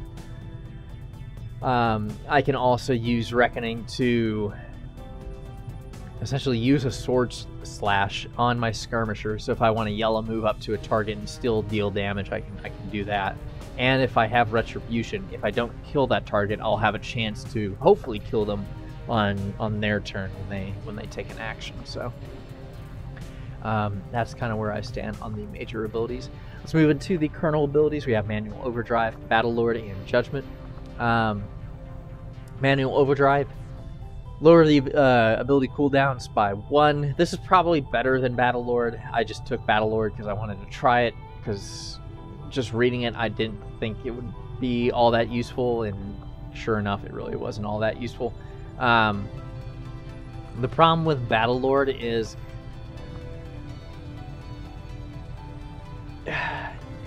it's kind of like a worse Overwatch in that let's say you go into a room and for whatever reason after you trigger a pod you can't kill any of the enemies. So you enter in battle lord and there it's a three person pod. After a unit makes its uh, makes its turn you can take an action. So it's not like Overwatch where the, the unit is going to run out of the cover, so it won't have that cover bonus. And sure, you're taking a negative uh, aim penalty, but they're out of cover, which kind of offsets that. Um, more than likely, the the trooper is going to, or whatever, is going to run into cover. It's going to shoot at you, um, and then it's going to end its turn, and then you get to use Battle Lord, which isn't all that great. Um, judgment, it, again, it requires you to be attacked and it's fairly inconsistent. I, I don't value this very very highly. Um, manual override, it just, in my opinion, it gives me the ability to grapple more often and use a free action more often.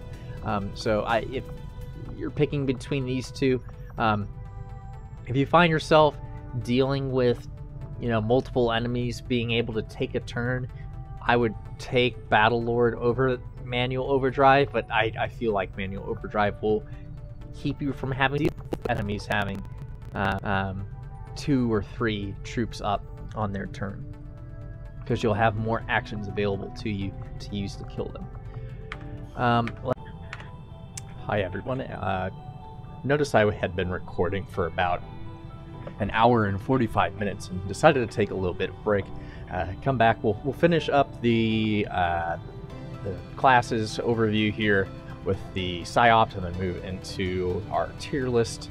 Um, so starting off with the PsyOps, first important thing to note, all of the abilities that we're about to go uh, through here, you can unlock these at any time just because of the way that you train your PsyOps. So it's not like you have to start with Insanity or Inspire. You can go all the way and start with Void Rift. It's very RNG dependent um, on the abilities that you research, but just to give you a general overview, um, because you can get all of these and you don't have to give up one or the other. I'm, I'm basically just going to uh, go into detail about the abilities. There are a couple things that are unlisted in a few of these abilities that are worth mentioning, um, and I won't say I won't really give my opinion on how useful they are. Um, more so because you can have all these without giving anything else up.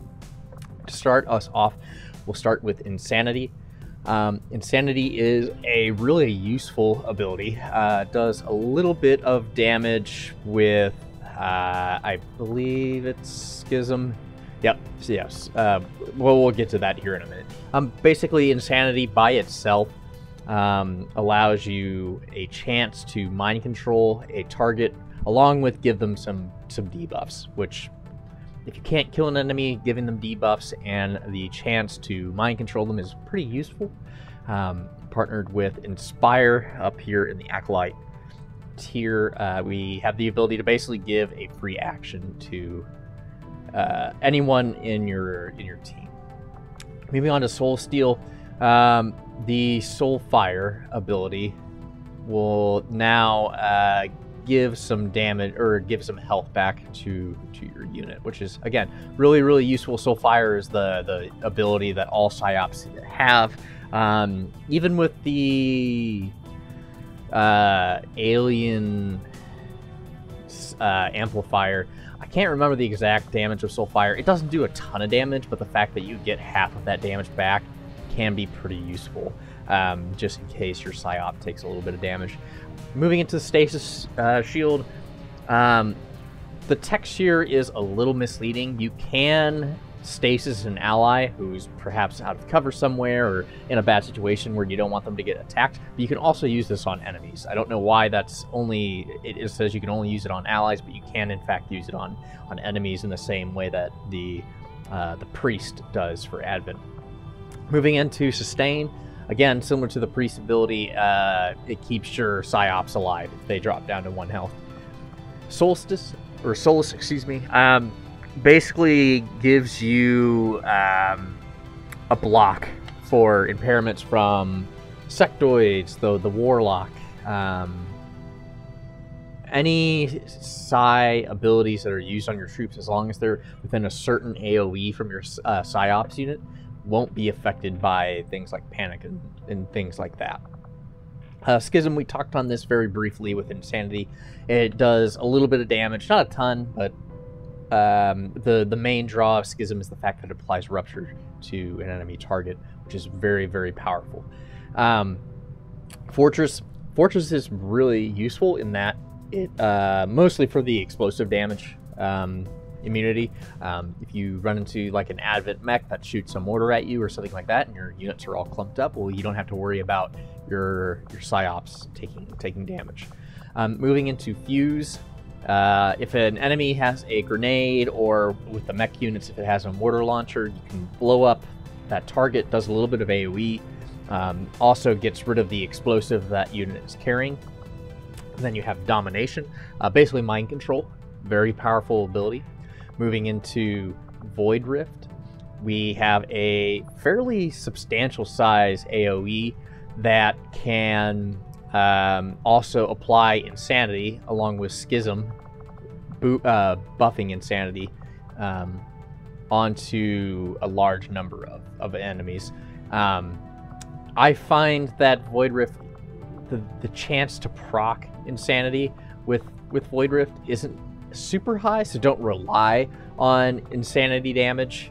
Um, like, let's say you need to do 10 damage to an enemy, and Void Rift by itself will do 7 to 8. And you, you are banking on that little bit of extra damage from insanity. It, it feels like it doesn't happen often enough for you to to use it to um, reliably burst down high health enemies. And then you have Null Lance, uh, very similar to the Shredder Cannon. Um, big, long cone.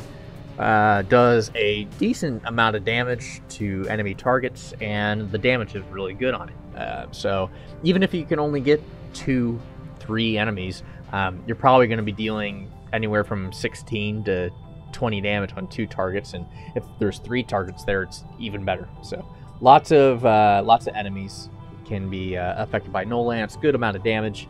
Um, and that's essentially it for the PSYOP. So let's go ahead and jump into the tier lists here. Um, you'll have to excuse the fact that some of these are a little bit different in size here. I couldn't exactly find the best um, the best markers for the hero classes here and the, the spark I had to take out of the game because for whatever reason no one seems to have this listed on any of uh, the XCOM websites. But as I mentioned before, I want to do an early game, a mid game, and a late game tier list. So please remember the first two abilities for each class will be considered early game just for the sake of one, fairness, and two, uh, just so that assuming that, that all of your units are around the same level, if, if you have to make a choice between one or the other classes, um, this is how I personally would, would rank them if you, uh, if you want to think of it that way. So I'm going to go ahead and start with the Ranger for early game. I'm going to move that up into S tier. Um, for those of you who watched my very brief review of classes in the second episode of the guide series that I have been working on, um, you'll know that the Ranger and the Grenadier, I said, are probably they're very highly rated um, for all points in the game. And I'll probably do the Grenadier next because of that. But um, speaking about the Ranger, you have um, Blade Storm, very, very useful ability, allows you to one shot a lot of the early game units that you run across. Um, the ability to ignore Overwatch, which can be very useful against mech enemies. Um, but even discounting their abilities, I think the strength in the Ranger more comes from their mobility um, and their sheer firepower, especially in the early game. Uh, shotguns do insane amount of damage, uh, really high crit chance built into them. Um, and if you're flanking appropriately and using good cover with them, Rangers are are such a strong damage dealing class, especially in the early game. I find them pretty invaluable. So moving into the Grenadier, I'm also going to place them up in S tier. Um, in that Grenadiers destroy so much cover, especially early game, um, when that is incredibly valuable. And oftentimes it will, when you're running into four health troopers and or even an Advent officer, which typically has um, seven health in the early game, if you can deal damage to either of those targets, if you roll nothing but a three, a, a low roll on your on your grenade damage dealt. Um, oftentimes, the officer will have four health remaining, which will get one shot by pretty much any unit other than the uh, the skirmisher down here, unless he rolls high with his bullpup. And the troopers will have one health remaining. So if you have a less accurate class, like say the uh, the specialist here with an assault rifle with a stock on it, you don't even have to hit and you can still kill it. Or you can just hit it with another grenade from a grenadier and finish off the enemies. Um, their abilities early game with you know Shredder um, are fantastic. The the second tier in the uh, in the the grenadier class in suppression and I can't remember the name of the other one, but the one that destroys cover, I think it's demolition. Um, as I mentioned, I don't value those too highly, but just for the the ability to deny Advent cover, especially early game, is amazing. Um, so moving into, uh, let's just stick with the the uh, XCOM classes first. Uh, psyops won't come in until late game because you realistically can't use them until late game, so ignore them here. I'm gonna place the sharpshooter in it's either high C, low B. So I'm just going to place them right here. Um, the reason that I would place sharpshooter kind of between C and B is that they are very useful for pulling in pods of enemies. Um, the way that I like to use a sharpshooter in the early game um, is using the uh, Overwatch ability on them with uh, long sight, which basically just means they don't have to have line of sight on an enemy pod in order to take an Overwatch shot as long as another uh, unit of yours can see them. So oftentimes I'll use um, either a Ranger in concealment or a Reaper in concealment to uh, after uh, my whole team has been brought out of concealment, I'll use the, the scout to observe the enemy's movements. And as long as they move, the sharpshooter will shoot at them, um, bringing the pod one closer to me, um, but two also giving me a free round of Overwatch shots to get in some free damage on them. Um, problems with the sharpshooter, especially in the early game, is you can't move them very aggressively to use their sniper rifle. Um, as I've mentioned previously in my guide series, I usually just give them a flashbang. That way they have some utility, um, especially because of how large the explosive radius on the flashbang is. Um, you don't really have to have a sharpshooter up on the front line to make use of that. And for that, uh, simple fact that you can get free Overwatch shots on on enemy pods using the sharpshooter, I think that's a very strong ability for them. Um, moving into the specialist, I'm going to place them in B. I'm going to rate them higher than the sharpshooter uh, early game for the simple fact that um, XCOM definitely does struggle the most early game. Um, and if you're going to be taking damage on your units more often than not, if, if you're, I, I shouldn't say you're going to be taking them uh, more damage in the early game, um, but more critical damage to where it, it threatens the life of your soldiers. Um, more often than not, that's typically going to be in the early game where your your grenadiers, your rangers, sharpshooters, hero classes all have five health unless you run some uh, resistant ring operations to get them some bonus health.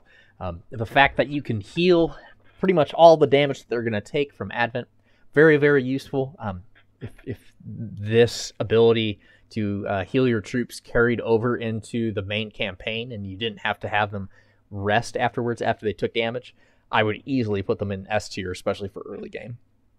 Um, I don't place a huge emphasis on hacking mechs, um, as I've mentioned before. So um, the fact that specialists are very useful for some of the objectives in the early game, uh, making when your when your team is at their weakest, the ability to reach consoles that you need to hack from a distance without triggering extra pods when you're already in a fight and you have maybe one turn to hack that objective, it's incredibly powerful.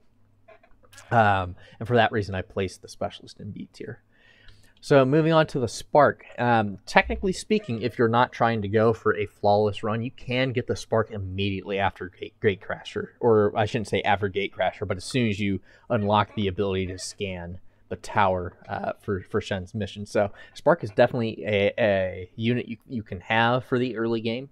Um, I'm going to place a Spark in A tier for a, a an early game playthrough. Um, having a launcher, a rocket launcher, and the ability to shoot three times with decent accuracy in the early game is incredibly strong. Um, also, the Spark comes with armor built in on it, which makes it a little bit tankier and can help you uh, let your troops rest a little bit more in between missions. Uh, which, especially if you don't have an infirmary, the the wait times on your troops recovering can be pretty lengthy. So the the spark is very useful for for having that. Um, just really good damage dealer. Um, the cannon also shreds, so you have an additional form of, of dealing with armor instead of a grenadier. Um, for those few reasons, I think the spark is very useful in the A tier. Uh, moving into the hero classes, I'm going to put the Reaper up at A as well. Um, the reason I'm not going to put the Reaper up in S tier just quite yet is while the, the to me the most important unlocks for Reaper are within the first two level tiers, that uh, being remote start and um, oh, I mean really remote start, just for the additional explosives along with claymores. Um, a lot of the times, especially early, I feel very reluctant to to shoot with my my Reaper uh, until I have uh, silent uh, silent kills, so that I don't have to worry about revealing my Reaper, especially in very compromising situations. Um, they're very very powerful in that remote start can deal insane amount of damage on large clumps of enemies the problem being that you have to get them within range of the explosives first, and second, if you're if you're not in concealment, a lot of the times Advent will move into cover that is typically going to be away from things that you can blow up, unless you're in a large urban map where there are a ton of cars laying around. Um, a lot of the times, especially in like the sewer maps, um, I really struggle to find things that I can remote start with a Reaper. Um, now, that being said, having a scout is incredibly important, especially on Iron Man uh, legendary playthroughs. Being able to find where the pods are and making sure that you're not going to activate those pods is pretty invaluable. So, for that reason alone, I would place the Reaper in, uh, in the A tier. So, moving on to the Skirmisher make this a little bit smaller so it's not. There we go. Um, Skirmisher, I'm going to place an S as well. Um, Skirmisher is so incredibly mobile and also has, again, not the best unlocks until a little bit later, but what, what it's working with, even at its base, um, the ability to grapple up and get an aim bonus and then shoot twice at an enemy is pretty insane. Um, the the skirmishers definitely struggle a little bit later on in the game where fights can be a little bit more drawn out but especially in the early game when you're dealing with low health enemies um, the the fact that you can nearly but not reliably one shot troopers um, one to two troopers depending on how good your damage rules are um, is is pretty invaluable especially with the the ability to get aim bonuses um, on your on your skirmisher. Uh, and then finally moving into the Templar. I'm going to put Templar up in S tier again. Um, Rangers are incredibly good for their damage. Templars have that damage while it's locked solely behind their ability to melee.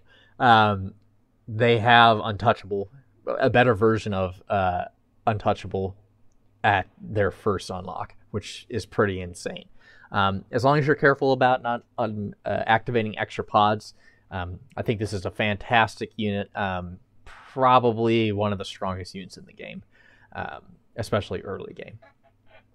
So now we've talked about the early game, let's go ahead and reset our little markers here as best as we can. And we'll talk about the mid game. Now, just to reiterate, the mid game to me typically is when I have armor level 2 unlocked. Um, but for this tier list, I, I want to uh, stress that it's it's the I want to say the sergeant and lieutenant abilities, or is it the lieutenant and captain? Yeah, lieutenant and captain abilities um, for for XCOM. Um, and the reason that being is you can definitely have a colonel within before you even have armor uh, armor two if you want. If you want to uh, send a particular unit on uh, resistant ring operations that give you a promotion over and over again, that's entirely possible.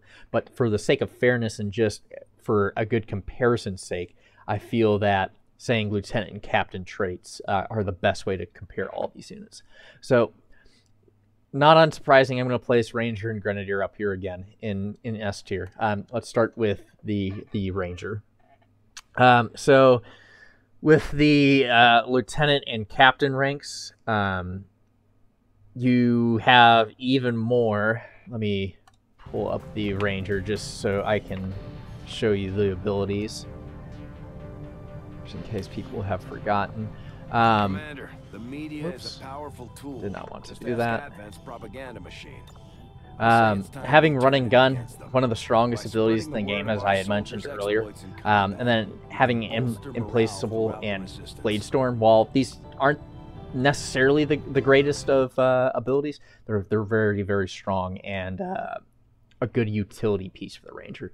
Now, another reason that I say the the mid game would be armor level two is this also allows you to put different ammo types um, onto your your soldier classes without giving up a grenade slot. So for the ranger, this allows you to put say talon rounds on them, which are incredibly incredibly powerful. Um, depending on whether you have the shard gun, which is the second tier of the shotgun, or just the regular shotgun, your your damage will go through the roof, especially with those talon rounds. Um, really, really strong uh, ability to deal out extra damage, and uh, yeah, just fantastic unit for for dealing out damage and uh, being incredibly mobile. Um, Grenadier, we're gonna have things like chain shot um, unlocked at this uh, this tier here. Um, volatile mix, heavy ordnance, holo targeting. Again, the the benefit of grenadiers is destroying cover, and uh, the unlocks that you get at the lieutenant and captain ranks make them even stronger. Um, for that reason alone, just denying XCOM cover is, to, at least to me, always going to make uh, Grenadiers an S tier pick. Um, however, things like Chain Shot, as I mentioned earlier, allow you to deal so much DPS, especially if you throw in like a superior scope and have a little bit of aim training on your Grenadier. Um, it virtually cancels out the. Uh, well, I mean, it does cancel out the the aim penalty that you get from Chain Shot, and you can deal insane amounts of, of uh, targeted DPS. Uh, moving into the sharpshooter, I'm going to place the sharpshooter between B and A tier. Um, more so for gunslinger, um, which. Or I'm sorry, uh, quick draw. Um, once you throw blue screen rounds on your your sharpshooter, take uh, take a sharpshooter with a uh, an un, unupgraded pistol on on Shen's mission on the on the tower. If you uh, want to see how effective quick draw can be, also with lightning hands. Um, with this ability, if you're doing uh, that mission with Shen, for example, you can one-shot the the mechs there. Uh, so you can essentially kill three enemy mechs with a, a, lightning hands, a quick draw, and then a regular pistol shot. Incredibly, incredibly strong abilities. Um, Death from above is just nice um, uh, bonus for throwing out more chances to kill targets. Um, sure, you're probably going to be using a regular sniper rifle uh, to score the kill, and then you might be able to get a little bit of chip damage in with a pistol. Uh, but again, the ability to pull pods is incredibly powerful for the the sharpshooter. Um, highly, highly recommend throwing blue screen rounds on them and just using them as a mech destroyer um, for your for your playthroughs if you care to try that. Um, I want to say the white mechs are one shot. Yeah, so I want to say the upgraded pistol can one shot uh, the white mechs, the advent mechs, and then they can two shot the red mechs when you first started running into them. Um, so relying on the pistol incredibly, incredibly powerful for the sharpshooter, and you can pull pods. Really, really strong unit. Um, again, psyops we're not going to count until late game, and then we have a specialist I'm going to place down here in C tier. Um, they, when you start getting more and more powerful, I feel like their abilities just fall off drastically. Um, Field Medic just does more of the same medical protocol. Um, scanning protocol, as I mentioned, I don't think I've ever used. Uh, threat assessment, while there is something to be said about uh, giving Overwatch to your allies, um, I just don't value the the reactive sort of play style that the the specialist gives you. Um, and usually by this at this point in the game, I don't really need the ability to hack targets from a distance in order to make effective use of my my team on timed missions. Um, so moving into the Spark, I'm going to place the Spark up here in A tier again. Um, now with the Spark, we have things like Wrecking Ball and Bombard. As I mentioned, Bombard is useful. It's essentially just another explosive that you can use. Um, but still, just the fact that at, at this point, while no, you can't get an additional unlock slot for the Spark, um, like you can with all of your other troops with armor level two. Um, the the cannon is just so effective at dealing out a large amount of damage before Advent really starts to get major health buffs on them. Um, excuse me. Um, that I, I, still value the the Spark's ability to deal with multiple targets um, and take a large number of turns um, or ta- uh, take a large number of actions within a turn. Um, Reaper at this point, I'm going to throw up into S tier. Um, major for major reason for that being is the uh, the abilities like uh, Silent Killer, up uh, which is unlocked here in the Lieutenant tree, um, Soul Harvesting, Needle, and Distraction. As I mentioned, these are all somewhat good, um, but Silent Killer um, as I had mentioned in the early game tier list, is the one thing that kind of is missing from the Reaper to allow it to play a little bit more uh, proactive role in being a damage dealer. Um, moving into the Templar, I'm also going to rank this in the A tier. Um, just even more benefit than what we had previously in the fact that you have additional ways to protect your Templar in Deflect. You also have nice abilities like the focus and reflect and channel. Um, this just allows the Templar to do more damage, um, be more survivable, and just keep doing what it does well, even better. Um, and then moving into the skirmisher, I'm probably gonna put the skirmisher here in B tier. Um, it's about this point where the skirmisher I feel starts to fall off a little bit just because of the bullpup and how limiting it is to um, the effectiveness of your skirmishers. But um, you do get whiplash and things like combat presence and retribution. However, uh, uh, you know what? Let's let's place it between B and A. This is definitely the point where I, I do feel like the skirmisher starts to fall off a little bit, but those abilities are incredibly strong. It's just that at this point, Advent typically starts to get its health buffs, and unless you have the um, the second tier of weaponry for the bullpup, which is this one right here, um, it, just feels like you don't deal enough damage. Um, six to seven isn't a whole lot, especially when you start having targets with armor and things like that. Um, and then the the beam one is even worse because you only really get one extra uh, reliable point of damage. Um, but moving into our late tier list here, move these back down here again. I'm just going to leave these up here because you guys already know Ranger and Grenadier are still going to be up here. Um, starting with the Ranger, um, show you their abilities just in case you forgot. Um, Untouchable, I've been saying how much I love this ability over and over again. Uh, deep Cover, as I had mentioned previously, I don't find very useful. And then Colonel, two incredibly strong abilities for the Ranger unlocked at this tier. Um, yeah, just again, really, really strong DPS, really good mobility. Um, and especially when you're running Talon rounds with a uh, storm cannon, which is the beam version of the shotgun, you can be dealing 17, 18 damage to a uh, to a target. So incredibly strong uh, burst damage on enemies at a somewhat, or I should say, fairly reliable rate.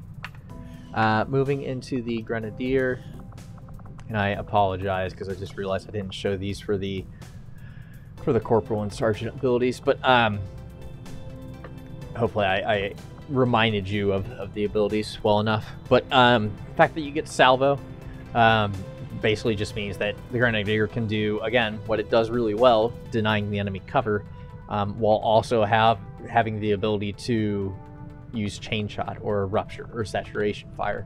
Um, all within the same turn is really, really strong action economy.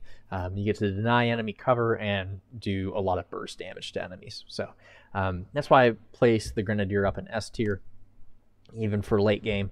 Um, sharpshooter in the late game, I definitely would consider S tier as well. Um, especially since we have things like the Icarus suit in the game. Um, but we'll get to that. Even without the Icarus suit, the sharpshooter can be pretty insane, especially because of serial.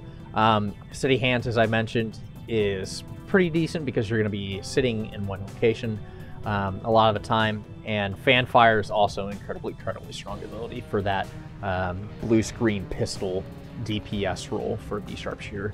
Um, just remember, 8 to 10 damage is a pretty significant amount of single target DPS. Um, to be to be used with serial. So just keep that in mind.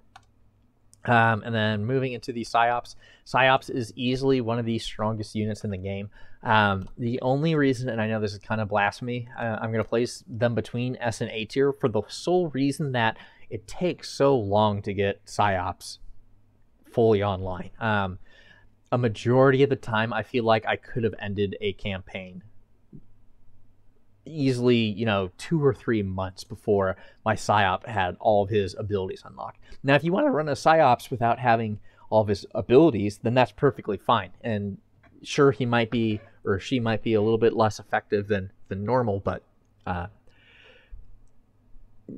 more than likely, likely you can still use the psyop without one or two abilities for their main role of controlling enemies, um, crowd controlling, dealing lots of DPS to um, clumps of enemies, things like that. Uh, specialist, no surprise here. I'm going to place down in C tier again. Um, again, far, far too reactive of a role for my liking. Um, Guardian, it relies on Overwatch, and it's not even a guarantee that you'll take extra shots. Um, capacitor discharge and restoration are great, but other classes can do say, capacitor discharge that can deal with a large number of robotic enemies just as well as, as this ability, uh, if not better, with things like um, the Reaper throwing out uh, multiple claymores on a group of high armored enemies and then blowing two claymores up will usually kill a lot of those enemies, or chain shotting a sec- uh, sectoid, or excuse me, sectopod um, is going to do way more damage than capacitor discharge, discharge especially with blue screen rounds. Um, so again, for that reason, I don't I don't value specialist all that much. Um, for the Reaper, um, well, yes, I was saying how much I enjoy Banish um, for the ability to one-shot very scary targets like the Chosen and Sector, uh, Sect pods and, and things like that. Um, it's not reliable. Um, yes, you get an additional claymore, which is fantastic and really brings the ranger into their, or excuse me, the the uh, uh, reaper into their own. But um, the ranger can essentially do the DPS job of the um, of the reaper here, uh, just a little bit more efficiently, in my opinion. Um, the, the, main problem with the Reaper is after you use, you use up your two claymores or your one claymore, if you didn't take the upgrade for them, um, you have banish, and that's on a cooldown. And then you have a sniper rifle, which while yes you can shoot while moving, but it doesn't deal all that much damage. Um, if we look at the damage on the uh, the beam sniper rifle, it does 5 to 6 damage, which is pretty pitiful, especially for a beam weapon late game. Um, moving into skirmishers, I'm going to place them in B tier.